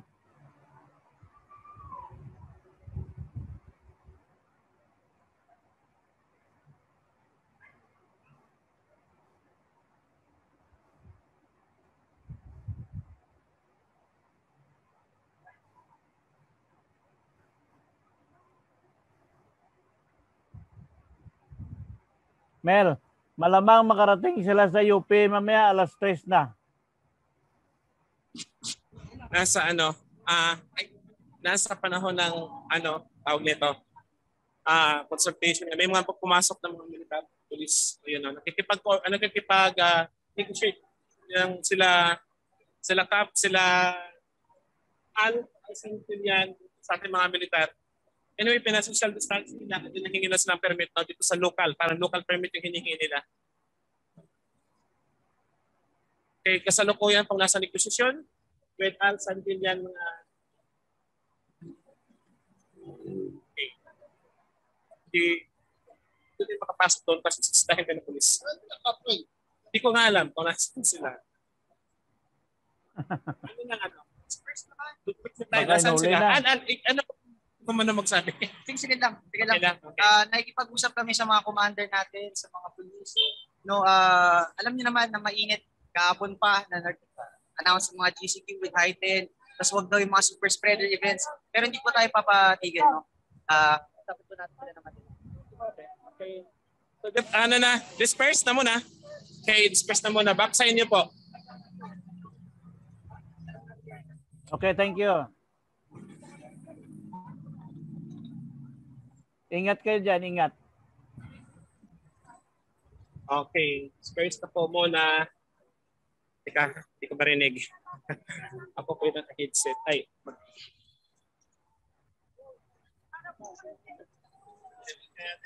Okay, so naka-disperse na po kami. Kailangan na ah, disperse habang habang kausapin or kinausap pa nila ngayon kasalukuyan yung mga police, yung mga militar po dito sa Pasay.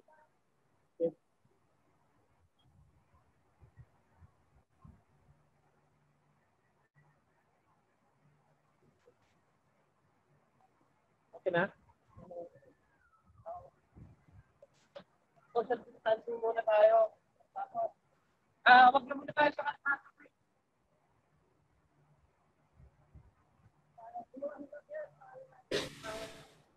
Pinapakalat ko na muna.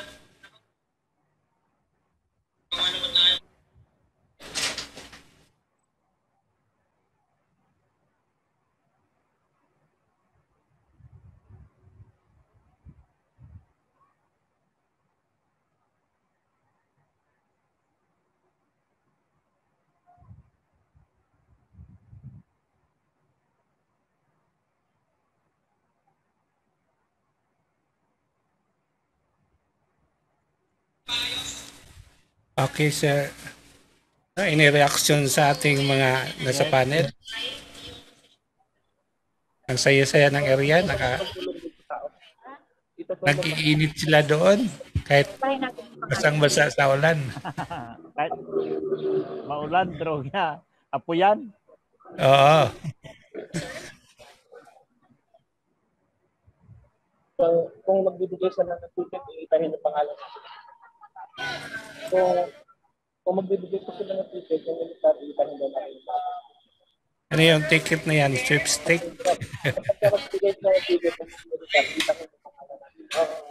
Baka tinikitan sila doon sa social distancing. Baka lang, baka patartahin tayo ng mga laki ng pangalan.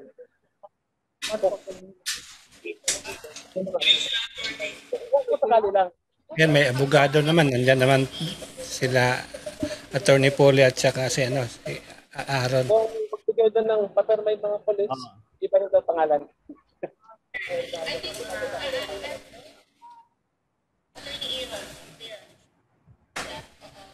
Okay, so ay meron na tayong 3 hours and 20 minutes. So, kung na, papunta ka ba sa, papunta ka ng UP, Mer? Hindi na sila aabot ng office, sir. Mag-disperse na yan after, ano, under uh, Baklaran. Oh, malamang. Oo. So, kung habol tayo, baka maghiwalay-hiwalay na yan mamaya. Oo.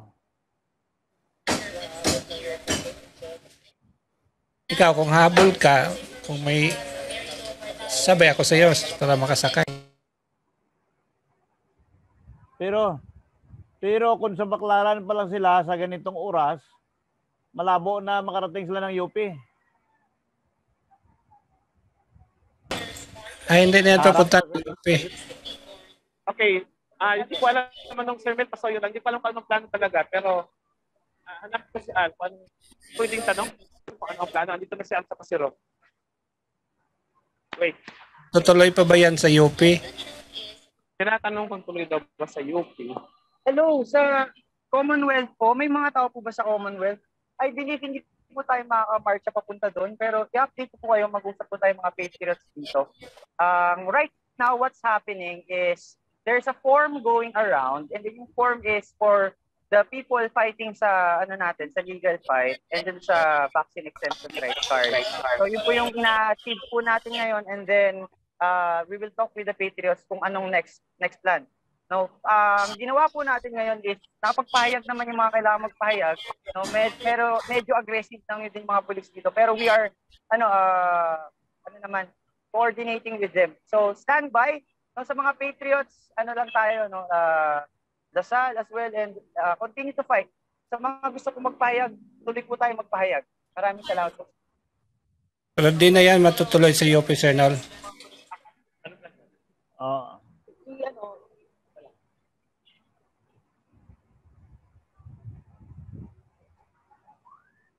Okay. Back sa inyo, Sir Mel. First na kayo dyan, natuloy pa sa UP. Naghihintay pa eh, di pa makapag-decide. Balik ulit. Eh, Ah, parang wala pang Kasi paano kami ni Sir Ben na pupunta kung ng UP kung after dito. So hanggang 12 lang yung session dito eh. Ah, okay. Sandali ha. Sana ba ulit? Tanong ko lang ulit. Sa ngayon kasi, para naghiwa-hiwalay mo na yung mga tao. Social distancing. Kasi tinatanong, tapos pupunta ko sila sa iyo. Sige po kasi ano I will update you within a two minutes kung anong plano kasi the the Patriots here we are not sure na everyone is capable of going there. Okay, if we can accommodate the carpool. Pero andito po, uh, kompleto pa po tayo. So we will update you as of now. Upload lang ako. Ah, okay. Okay, yun lang survey. Balik sa inyo. Ah, sige, sige. So ano yung plano natin, Sir Ben? So kung ganyan ang uh, sistema, eh, ano na lang natin, ipakinggan na lang natin muna sila. Kasi tingin ko may problema doon. Eh. Pero we have to wait. 2 minutes lang daw. Eh. Tingnan natin kung ano ang balita sa 2 minutes after. Okay, stand by. Okay.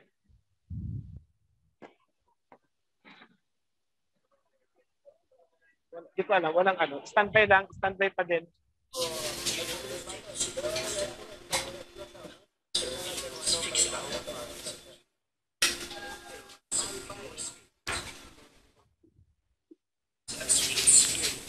So yun po yung sa mga bagong viewers natin uh, napapanood nyo ngayon yung ongoing Walk for Freedom uh, rally na nasa Baklaran ngayon. At sila ngayon ay uh, pinapa-disperse ng mga ating mga uh, police dyan dahil uh, sa social distancing and of course sa protocol na pinapalakad. Okay? So hopefully na mag, um, kung ano yung plano, ma-update din tayo para tayo ay makasama sa, sa kanila after this our plenary session kung makakahabol pa tayo. So kung hindi, uh, maybe next time naman oh. at least we help na ma iparating natin yung mga nangyayari dyan sa area na hindi rin nakikita doon sa uh, live ngayon sa Kising Maharlika. So iba yung ating na uh, nabubyos Cross Sir Noli na nagbibigay sa ating ng iPad. Okay, so in reaction sa ating mga area dyan, sa ating mga nasa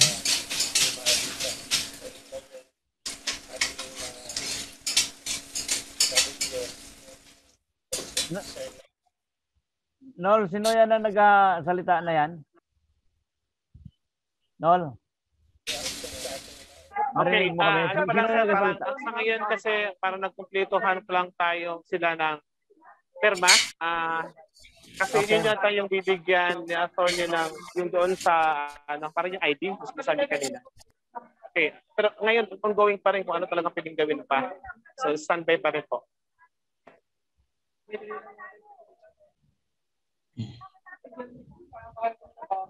Ah, so ganon, Oh, Mel. standby, standby pa po. Ah, parang kinukumpleto lang po yung mga nandito na makakakuha ng ah, perma doon sa pinaprepare po ni Atty. Aaron po. Ang sa email na lang natin padala natin. Mel. Ah, yeah. Oo, oo, oo. Yun na lang po. Yung mga hindi pa nakapirma, din ipapadala doon sa email. Okay. Oo. So, yun na lang yung kinukumpleto dito sa ngayon. Then I think picture taking siguro then is parang parang dispersed na. Parang dispersed na yung parang sinasabi. Although Okay. nag-uusap pa sila, sila malayo pa sila Al at saka sila ah Capre. Ah, ganun pa rin. Nasa nasa yan, totoo kasi yung doon banda, nandun pa rin mga militar, tabang pa din. Nol, pakipost nga tao na. nandito pa rin, sir. Hindi pa rin, hindi pa rin umalis, no? Nag, ano lang, kanya-kanyang Nol. Nol, marinig mo kami? Nol.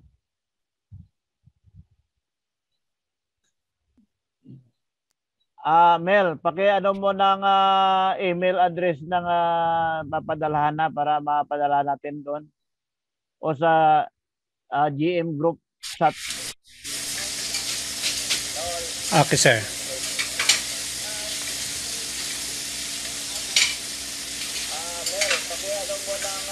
Ah, sir, bots? Yeah.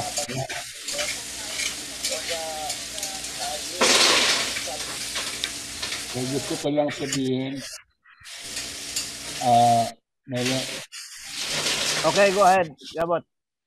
uh, gusto, this is precisely what I was uh, trying to point out kanina na itong ang pinakalaban talaga ng tao, itong mga oppression tsaka suppression. Oo. And right now, this is the form of uh, suppression na hindi itong hindi pagpapayag ng ating pamahalaan na makapag uh, ng uh, hinaing.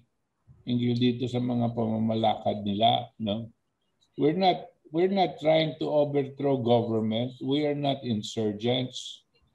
We are not criminals.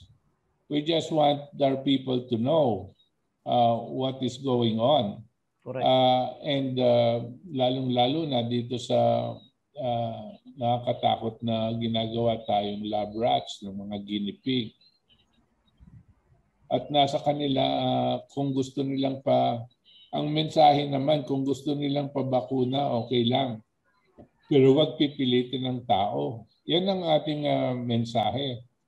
Pero itong uh, napakasimpleng mensahe, pipigilin pa tayo ng gobyerno sa pamamagitan ng mga iba-ibang mga salita. Kunwari, uh, social distancing, kunwari, uh, protocol at lahat-lahat na. No?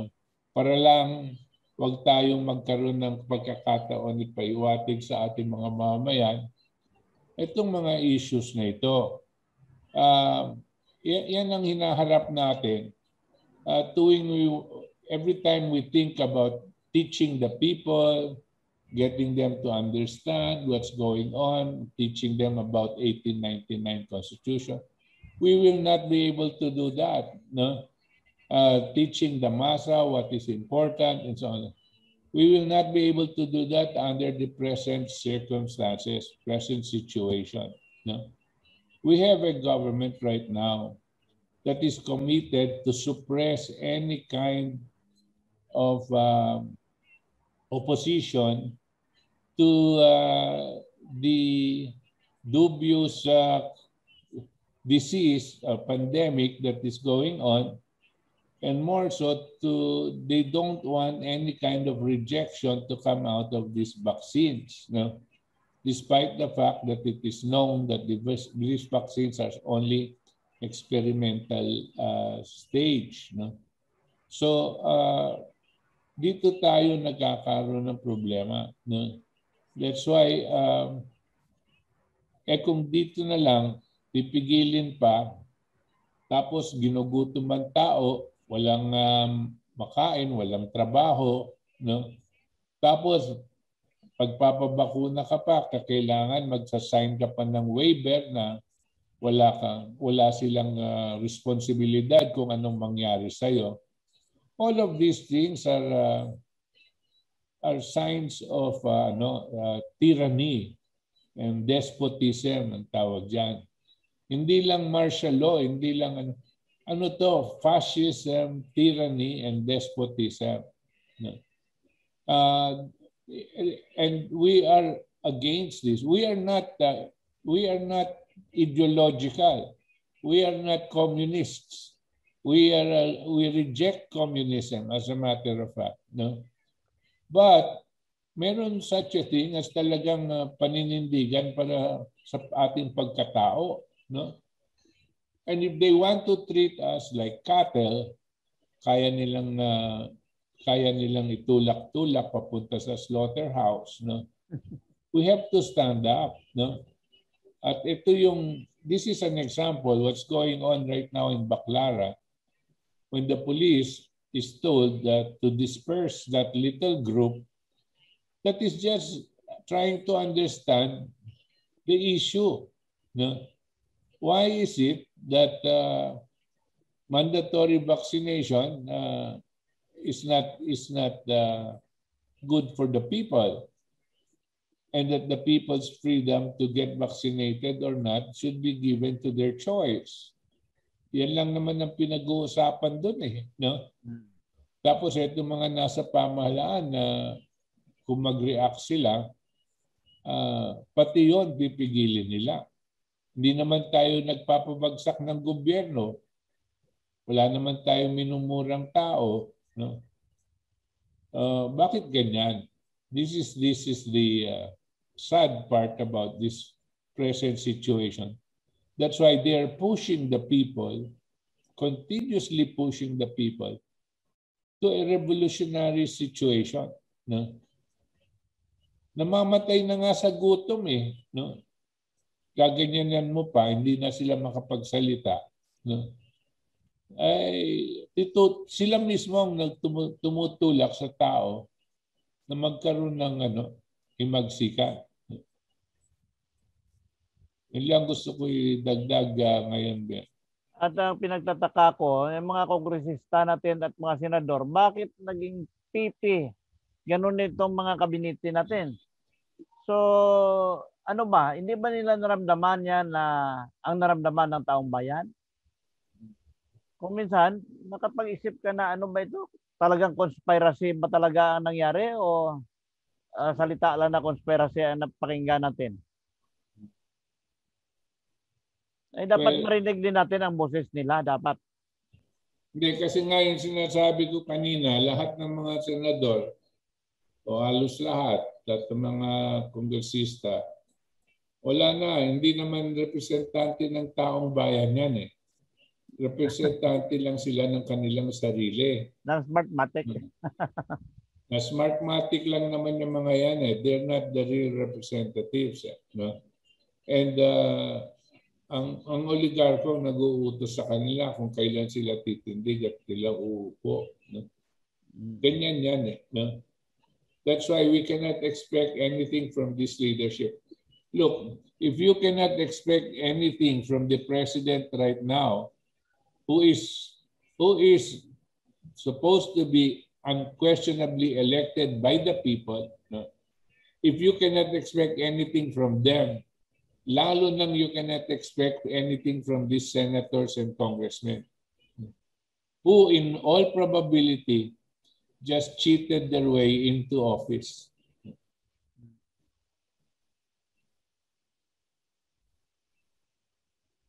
Kaya kung minsan na nakapag-isip-isip ka na, ano ba ang pag-intindi ng mga tao na ito? Mga may pinag-aralan naman. When it comes to sovereignty, ano ba ang pag-intindi nila? when it comes to constitutional mandate, constitutionality, ano ba ang pag-intindi nila? Kaya para pareho tayo nakapag-aral. Although ako dalawang taon lang ako sa koleyo, pero uh, sila sampung taon o walong taon, pero bakit na hindi nila naintindihan ang uh, damdamin ng mga mamayan? So, uh, the more educated, the more brainwash.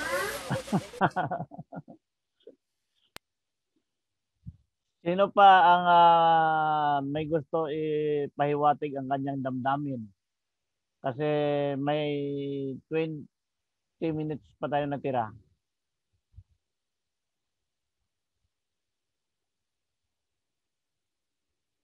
Ah, Mel. Mel, can you hear me? Yes, sir.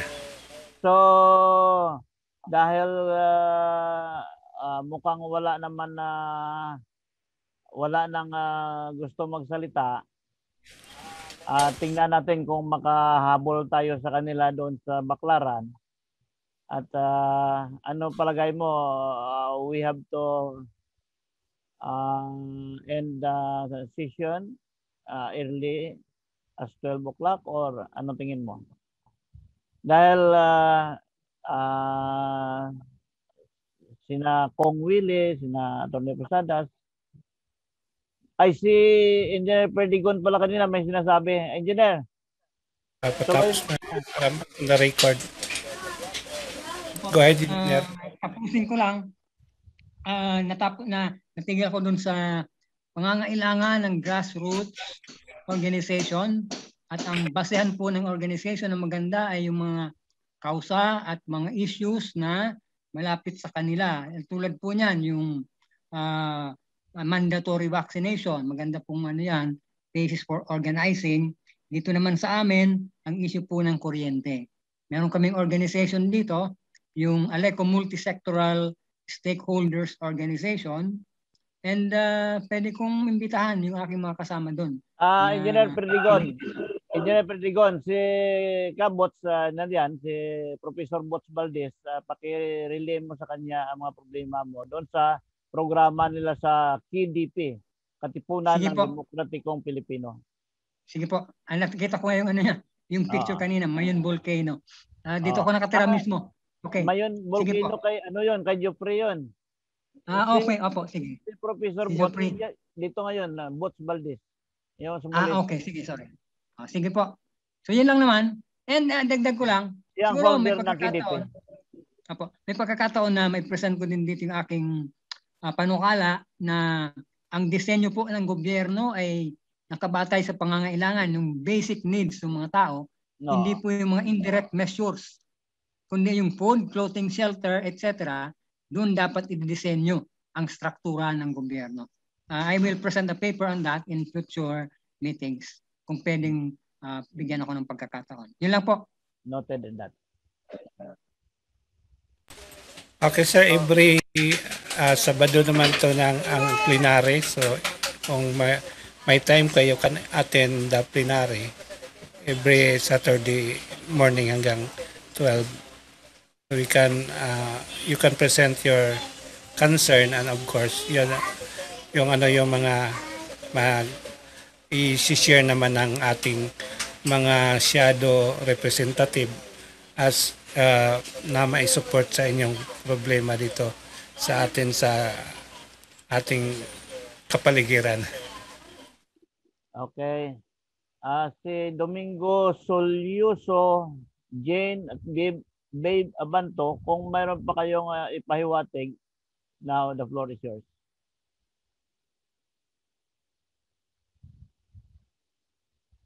Sa akin po, wala na po. Okay na po. Okay, so si Babes, okay na. Okay. Si Domingo Solyuso, may we hear from you?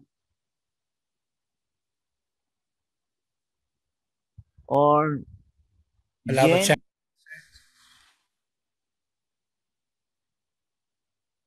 Ah, Kong Villarama, any parting words?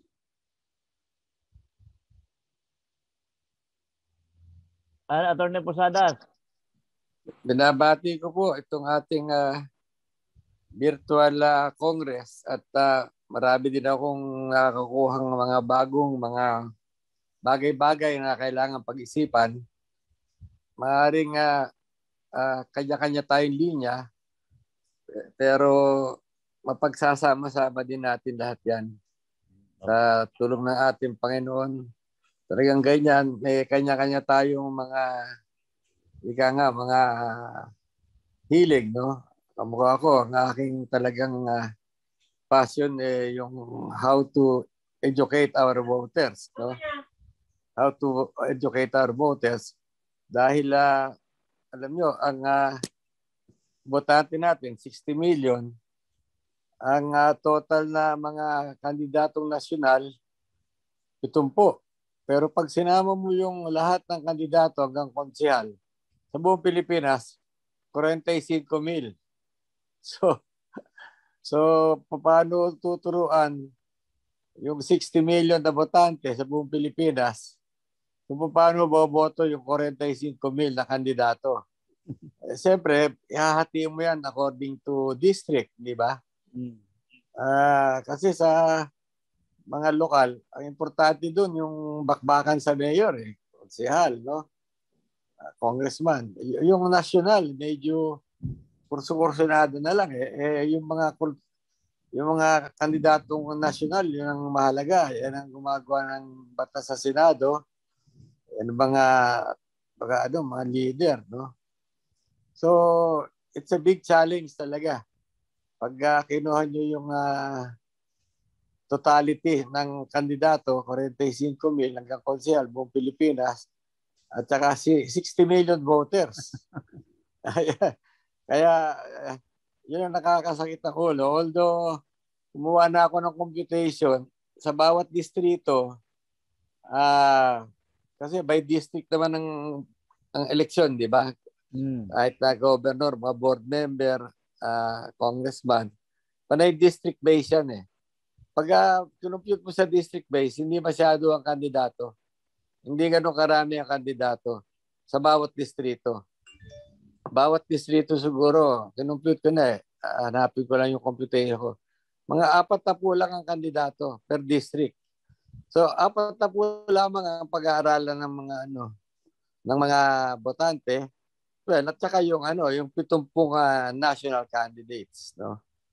So, yun lang po ang aking ah, passion talaga dahil kanya-kanya tayo kung hindi natin may ah, mapapakita sa mga botante yung uh, mahuhubaran natin yung mga kandidato, eh paano nila malalaman kung sino magaling, di ba?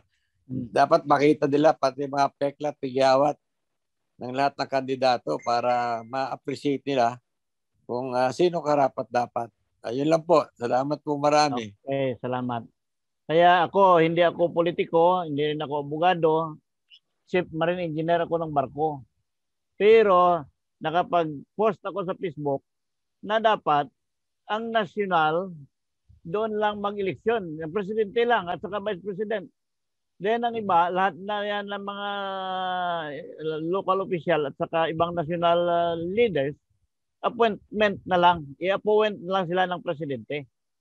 Then, kung magkamali man, automatic pwede mo tanggalin. Unlike ng elected, sampung taon lang, hindi mo pa matigil-tigil, hindi mo mapaalis. Alam mo kung bakit? Uh, elected daw siya ng taong bayan. Mga dynasty. Hmm. Tama, Pero oh, kung, tama kayo. pero kung appointed siya, kung appointed siya, pag nagkamali ngayong araw, bukas pwede mo tanggalin. Hindi siya makareklamo. Tama. Kaya lang, ang dami nating batas eh. Civil service law, ang daming mga... Yan nga problema. Yan nga ang problema. Ngayon, ginaplano pa nila na bago ka magkandidato, kailangan na ah, college ah, graduate ka. Nung araw, nung mga ninuno natin, back to 1899 Constitution, hindi man nakatapak ng kolehiyo ang mga leaders natin, like uh, Andres, Bonifa- ay, Andres Bonifacio. Pero, maganda ang ah, pamalakad nila na, na, na, na unite nila ang ah, mamamayan sa buong bansa. Ngayon, ni Mayor nga, hirap na nga mag-unite kung isa na nga mga constituent niya sa bayan niya. Kaya malaki problema. Eh, mga maka-Pilipino talaga yung mga ano eh, mga ating bayani eh. Kaya kailangan buhayin natin ang pag-aaral sa mga buhay ng mga bayani. Dahil hindi nakilala ng mga ng mga bata eh. So, si Rizal, alam lang nila yung may mamang nakatayo sa luneta. hindi nila alam kung ano kabayanihan Jose Rizal. Eh, ganun din sa mga ibang matatapang natin mga leader. Nakakalungkot po talaga. Kaya talagang kailangan buhayin natin yung nakaraan. Okay, ganun. So, Mr. Okay. Speaker, I'd like to be recognized. Yes, you are recognized, uh, Attorney Posadas. Okay, as a kind of a summary uh, from uh, Governor Villarama and uh, Butch Valdez and uh, and uh, Senator Lina, former Senator Lina.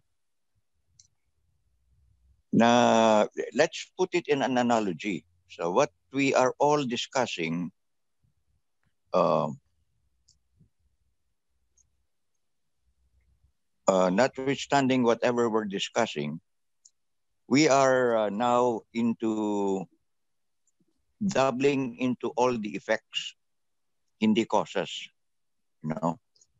So what I, I'd like to do is to put it in an analogy. Everything that uh, Governor Villarama and Speaker, I mean, uh, Butch Valdez and uh, ex-Senator Lina are saying are all uh, on the level of effects.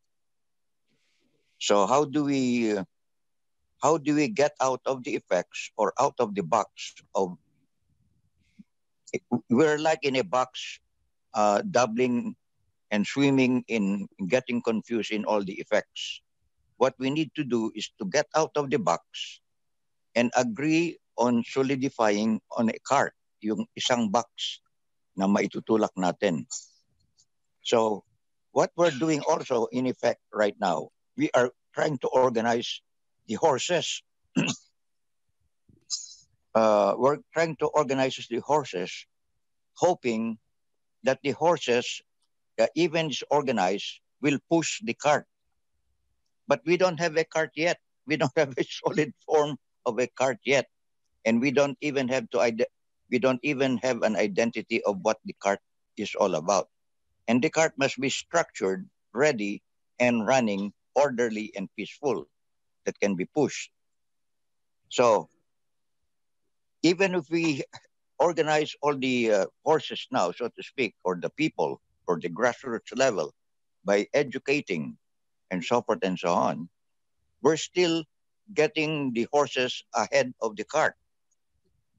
Okay, even if we organize the cart and and the horses are ready to pull the cart, there's nothing solid that it can. Um, uh, I mean, um, Can be easily pulled. Yeah, can be pulled. Yes, correct. And even and even if you want it to, to be pushed in a revolutionary government, there's really nothing to push. There's nothing solid. There's nothing identifiable. Now, the reason why I'm trying to do this is if, if we start with anything at all other than a peaceful and orderly way, invoking the, the oath of office of the president, we can be mistaken for insurgents. Correct. Because what we're trying to do is to incite people to what? To rebel. with, with, with no cause, with no legal cause. They Because misinterpret us. anything, any cause that will try to re- change the regime or the present president will be considered at the very least an inciting to sedition. Kasi you're trying to change the regime or the government without a cause. Now, what we need is a cart, the cause that is solid and ready and solidified. And even if we turn to the past, so be it. That is the one that is already ready and ready to be pushed and to be pulled. Oh, now, while we, once we agree on the cart and solidify it into a really something solid, it's a ramming point that will create a traction, a traction that is legal and constitutional. And nobody, not even international intervention, can can fault us for trying everything under the sun, legal and constitutional and people's will and so forth and so on in an orderly and peaceful way. Okay? Once we push it to that point, and still the president does not order any referendum or plebiscite, then so be it. We tried everything. We have exhausted all the legal and constitutional and peaceful means to be recognized at least for an orderly shifting into a parliamentary federal form of government, which is a complete change from the 1987 constitution. Because if you're going to change into another constitution, it's in the same form, nothing will be changed because the in, the entrenched uh, corruption lies within the system. If you don't change the system, contamination remains, especially habitually and culturally. Uh, it's become a habit among the people. Uh, that's what creates all this oligarchy, monopoly, and and uh, you know everything else that's uh, uh, various uh, various subtle shapes and forms of oppression and suppression, uh, including one example is what's happening in the so-called pandemic now. Oh, we don't have a solid box or a solid cart to push or to be pulled. We've been talking like horses and chicken. We're all like uh, chicken, uh, just uh, going around in circles. But we have to agree on a cart that is ready, solid, constitutional, and legal. And nobody can fault us, even uh, even uh, even even any dictatorial government uh, form of uh, in in the world cannot fault us for trying everything we can under our system to change the government. No, not change the government, but to change the form of government. Can can you see it? Because if we start other than uh, trying to push the cart or the uh, legal and constitutional cause of the 1899 Constitution, we can be accused of treason and uh, inciting to sedition. Ah, attorney. And we will be stopped right away. At, attorney, I have Yes. one, I have an important question. Like, for example, uh, posing the 1899 Constitution, because that is also the Constitution of the Republic of the Philippines. Can it be considered subversion? No, it's not. It's not a subversion because you're invoking the 1987 Constitution presidential oath of office to redress people's grievances. Oh. What is, uh, we're not trying to change the regime. We're trying, trying to change the form of government. We're not trying to change the president into another president. We're not So, trying uh, to change the government into a military rule.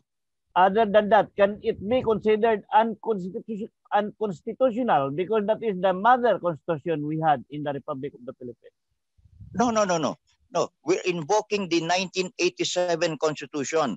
In the 1987 Constitution, President Duterte uh, swears under his oath of office to redress people's grievances. And the people's grievances in a form that is constitutional and legal through a plebiscite petition. Oh, No, What I mean, what I mean is kagaya nito, ah, ginapilit natin na i-adapt natin ang ah, 1899 Constitution. Ngayon, pag nag ah, ipon-ipon tayo, bawal.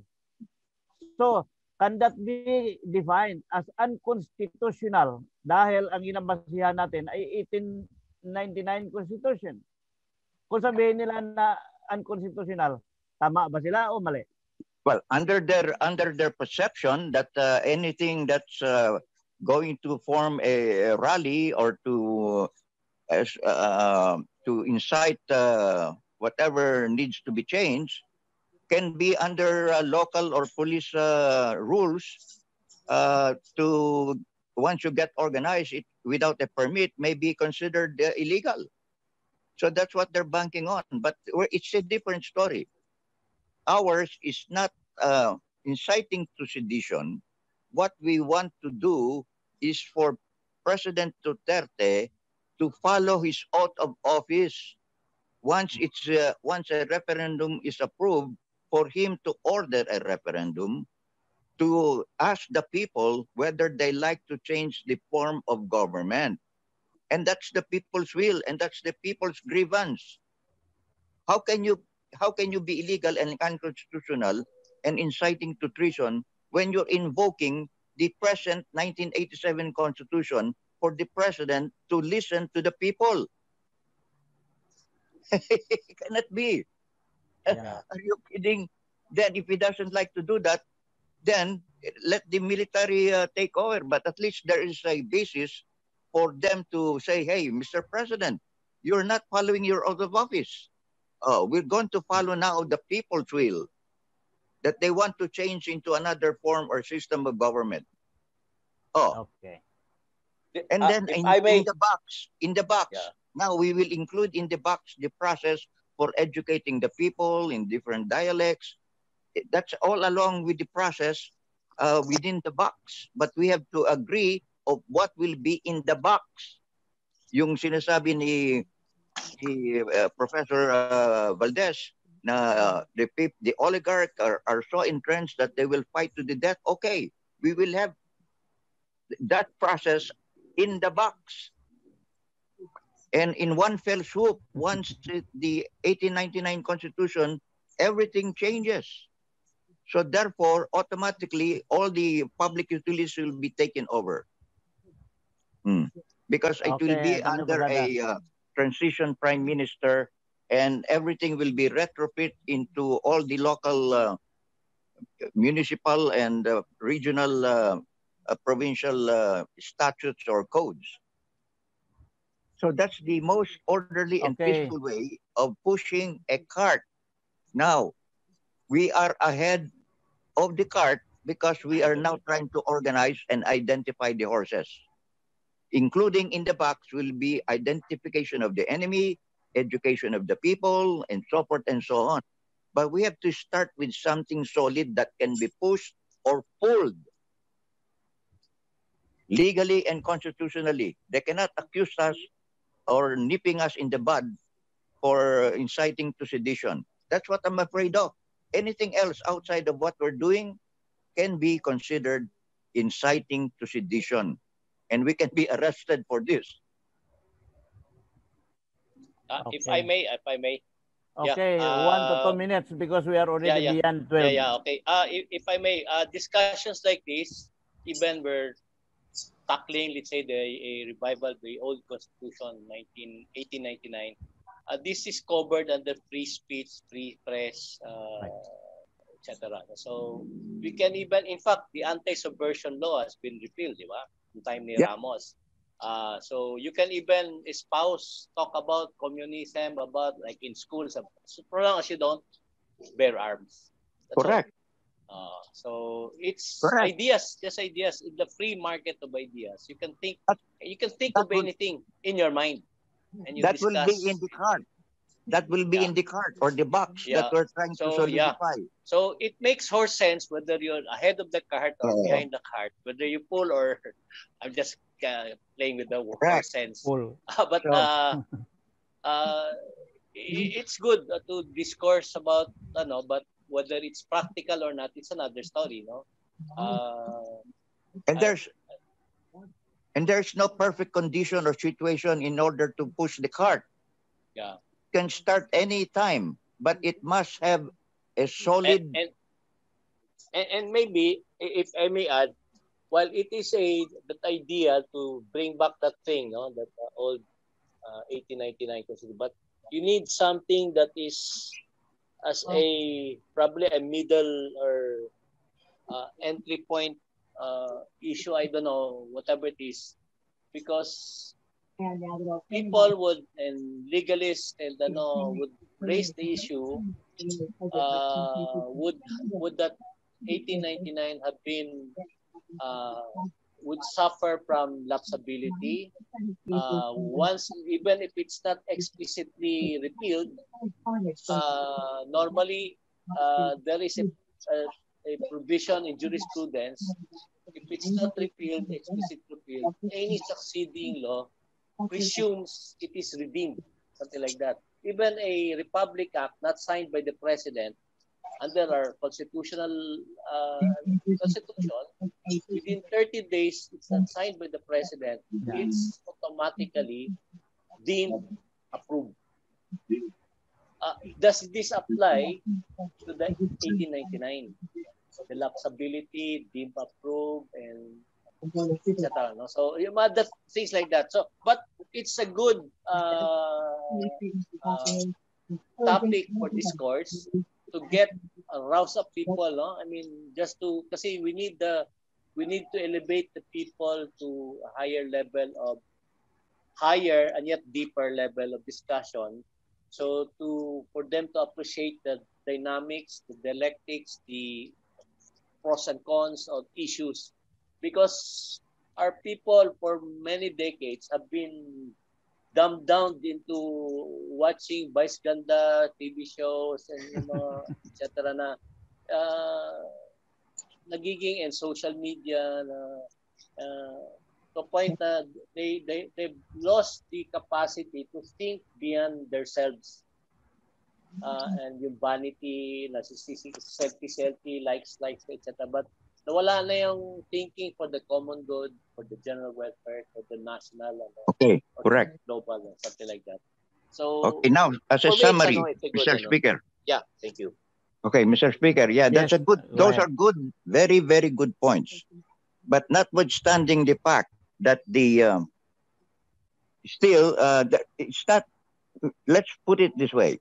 The, uh, the 19, the 1899 Constitution is still alive and valid. That can be supported legally and constitutionally. But let's use an analogy. The 1899 Constitution is a creation of the people's will.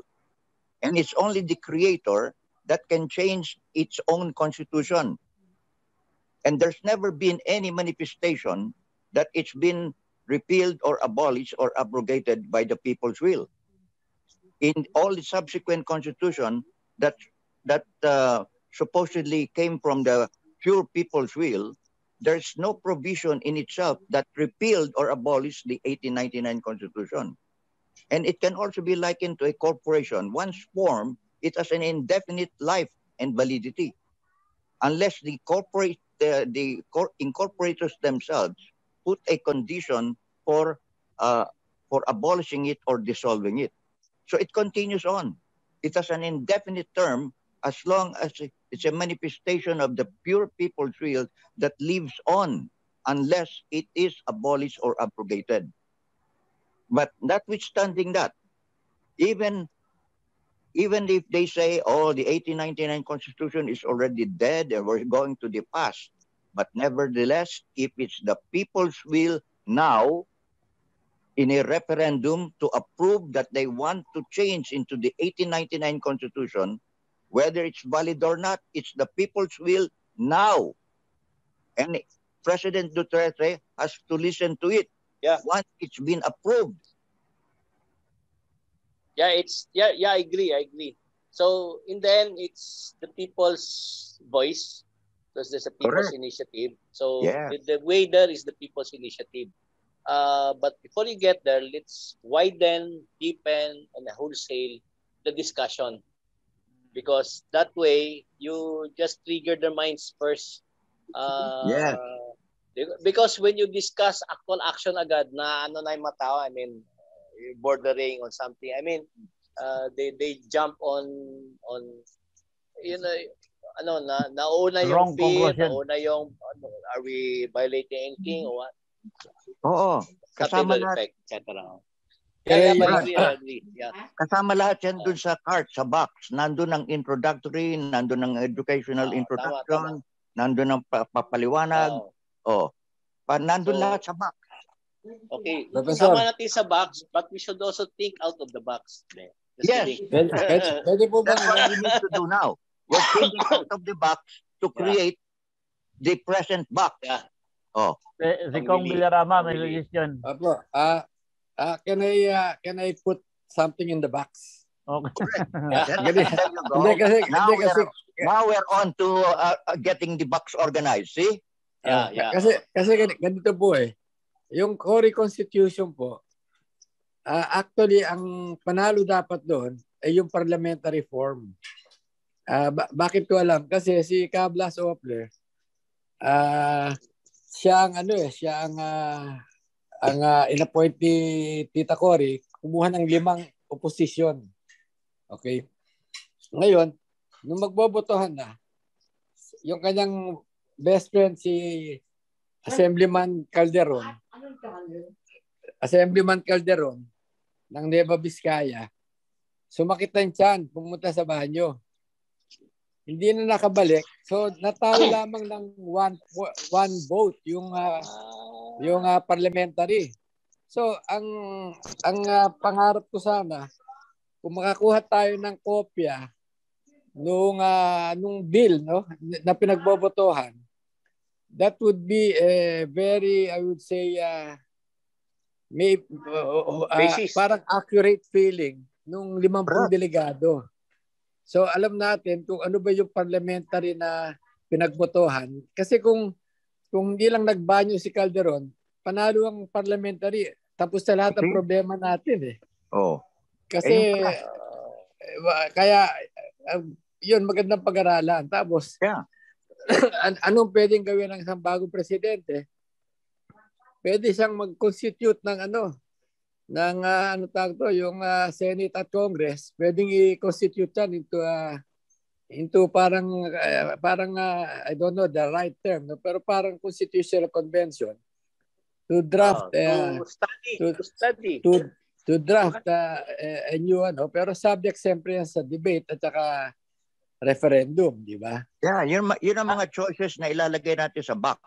Yan. Oo. Pong, Oh. Pong, Pong, may, may, may ano ko, may tanong lang ako. Na nabanggit mo ba to kay Tots ang tungkol yan sa parliamentary votes na yan na sa limang ano? hindi hindi nag-usap na kami ang problema hindi na kasi May kopya si Bot? Si Tots? hindi, hindi, hindi, hindi nga hindi, hindi nga niya makita kasi nasa bodega na yung kami may complete set kami ang problema nasa Ah. bodega so ang ah, hinahanap ko sana yung mga members ng ah, Concon like si kung may naka kung kailangan kasi close tayo eh. Kung halimbawa si Monson no? Ah, baka may kopya siya. Kasi ano lang naman yun hindi naman ganun kakapal eh. It- it's like a, a, a, a constitution pero parliamentary in form. Ah, yun ang maganda sana pag-aralan kasi kahit itong con, con as na na ano nila Puno nila Justice Puno Ewan ko kung kung ah, if they tried to ano to to read that eh kasi yung kanilang federalism talagang masalimuot eh. Theoretically maganda pero madugo no? Yeah. Madugo. So ayun ang pwede nating pag-aralan dahil yan naman ma-implement lang natin yan pag tam- tumama sa presidente na talagang ano tapos may nakahanda na tayong ah, ah, parliamentary ano ah, parang batas no Oh. Pa- Pwede, pwede na na natin, natin- pag ah, pwede natin pagawayan yan ng isang isang taon bago mo po yung bagong ah, halal na congressman at senador. Kasi Kaya- yan lang po ang ano eh, ilan po ang, yan lang po ang panggamot sa mga dynasty. It's not a perfect one, no? pero magiging ano na, party system na. Oh, Kaya ang akin suggestion diyan, ang ah, na sabi nila tiwali ako, ah, sabi ng RDRG tiwali ako kasi sabi ko habang nag-uusap si Bishop Nilotayag uh, nagsasalita, pinarinig ko kay ah, Professor Hill para maintindihan niya kasi yan ang napag-usapan namin. So what I mean is first we have to adapt the 1899 Constitution. So para hindi tayo ma hindi tayo mawalaan ng konstitusyon for the time being. At habang na ina-adapt natin, kung ano man ang kagustuhan nila, idagdagan na lang natin. At kung ano ayaw nila, mawasan natin. Pero walang constitutional crisis. Oh, Pero sige. mahirap unawain ang sinasabi ko daw. Sa next Okay. session, Okay, dahil Okay. uh, to 12.15 Okay, na, last- let's suspend the, the, the, the session. last message, last message, uh, Mr. Okay. Speaker. Okay, the next ahead. session, I will compose a res- a uh, resolution that uh, from he- there on, everything that we will be discussed, that everything that we will be discussing, will be put in the box. Okay. That will be relevant for the box to be structured so that we can push it or pull it. Okay. Okay. So we're now discussing the cart that we are making before the before we can uh, get the horses to pull it.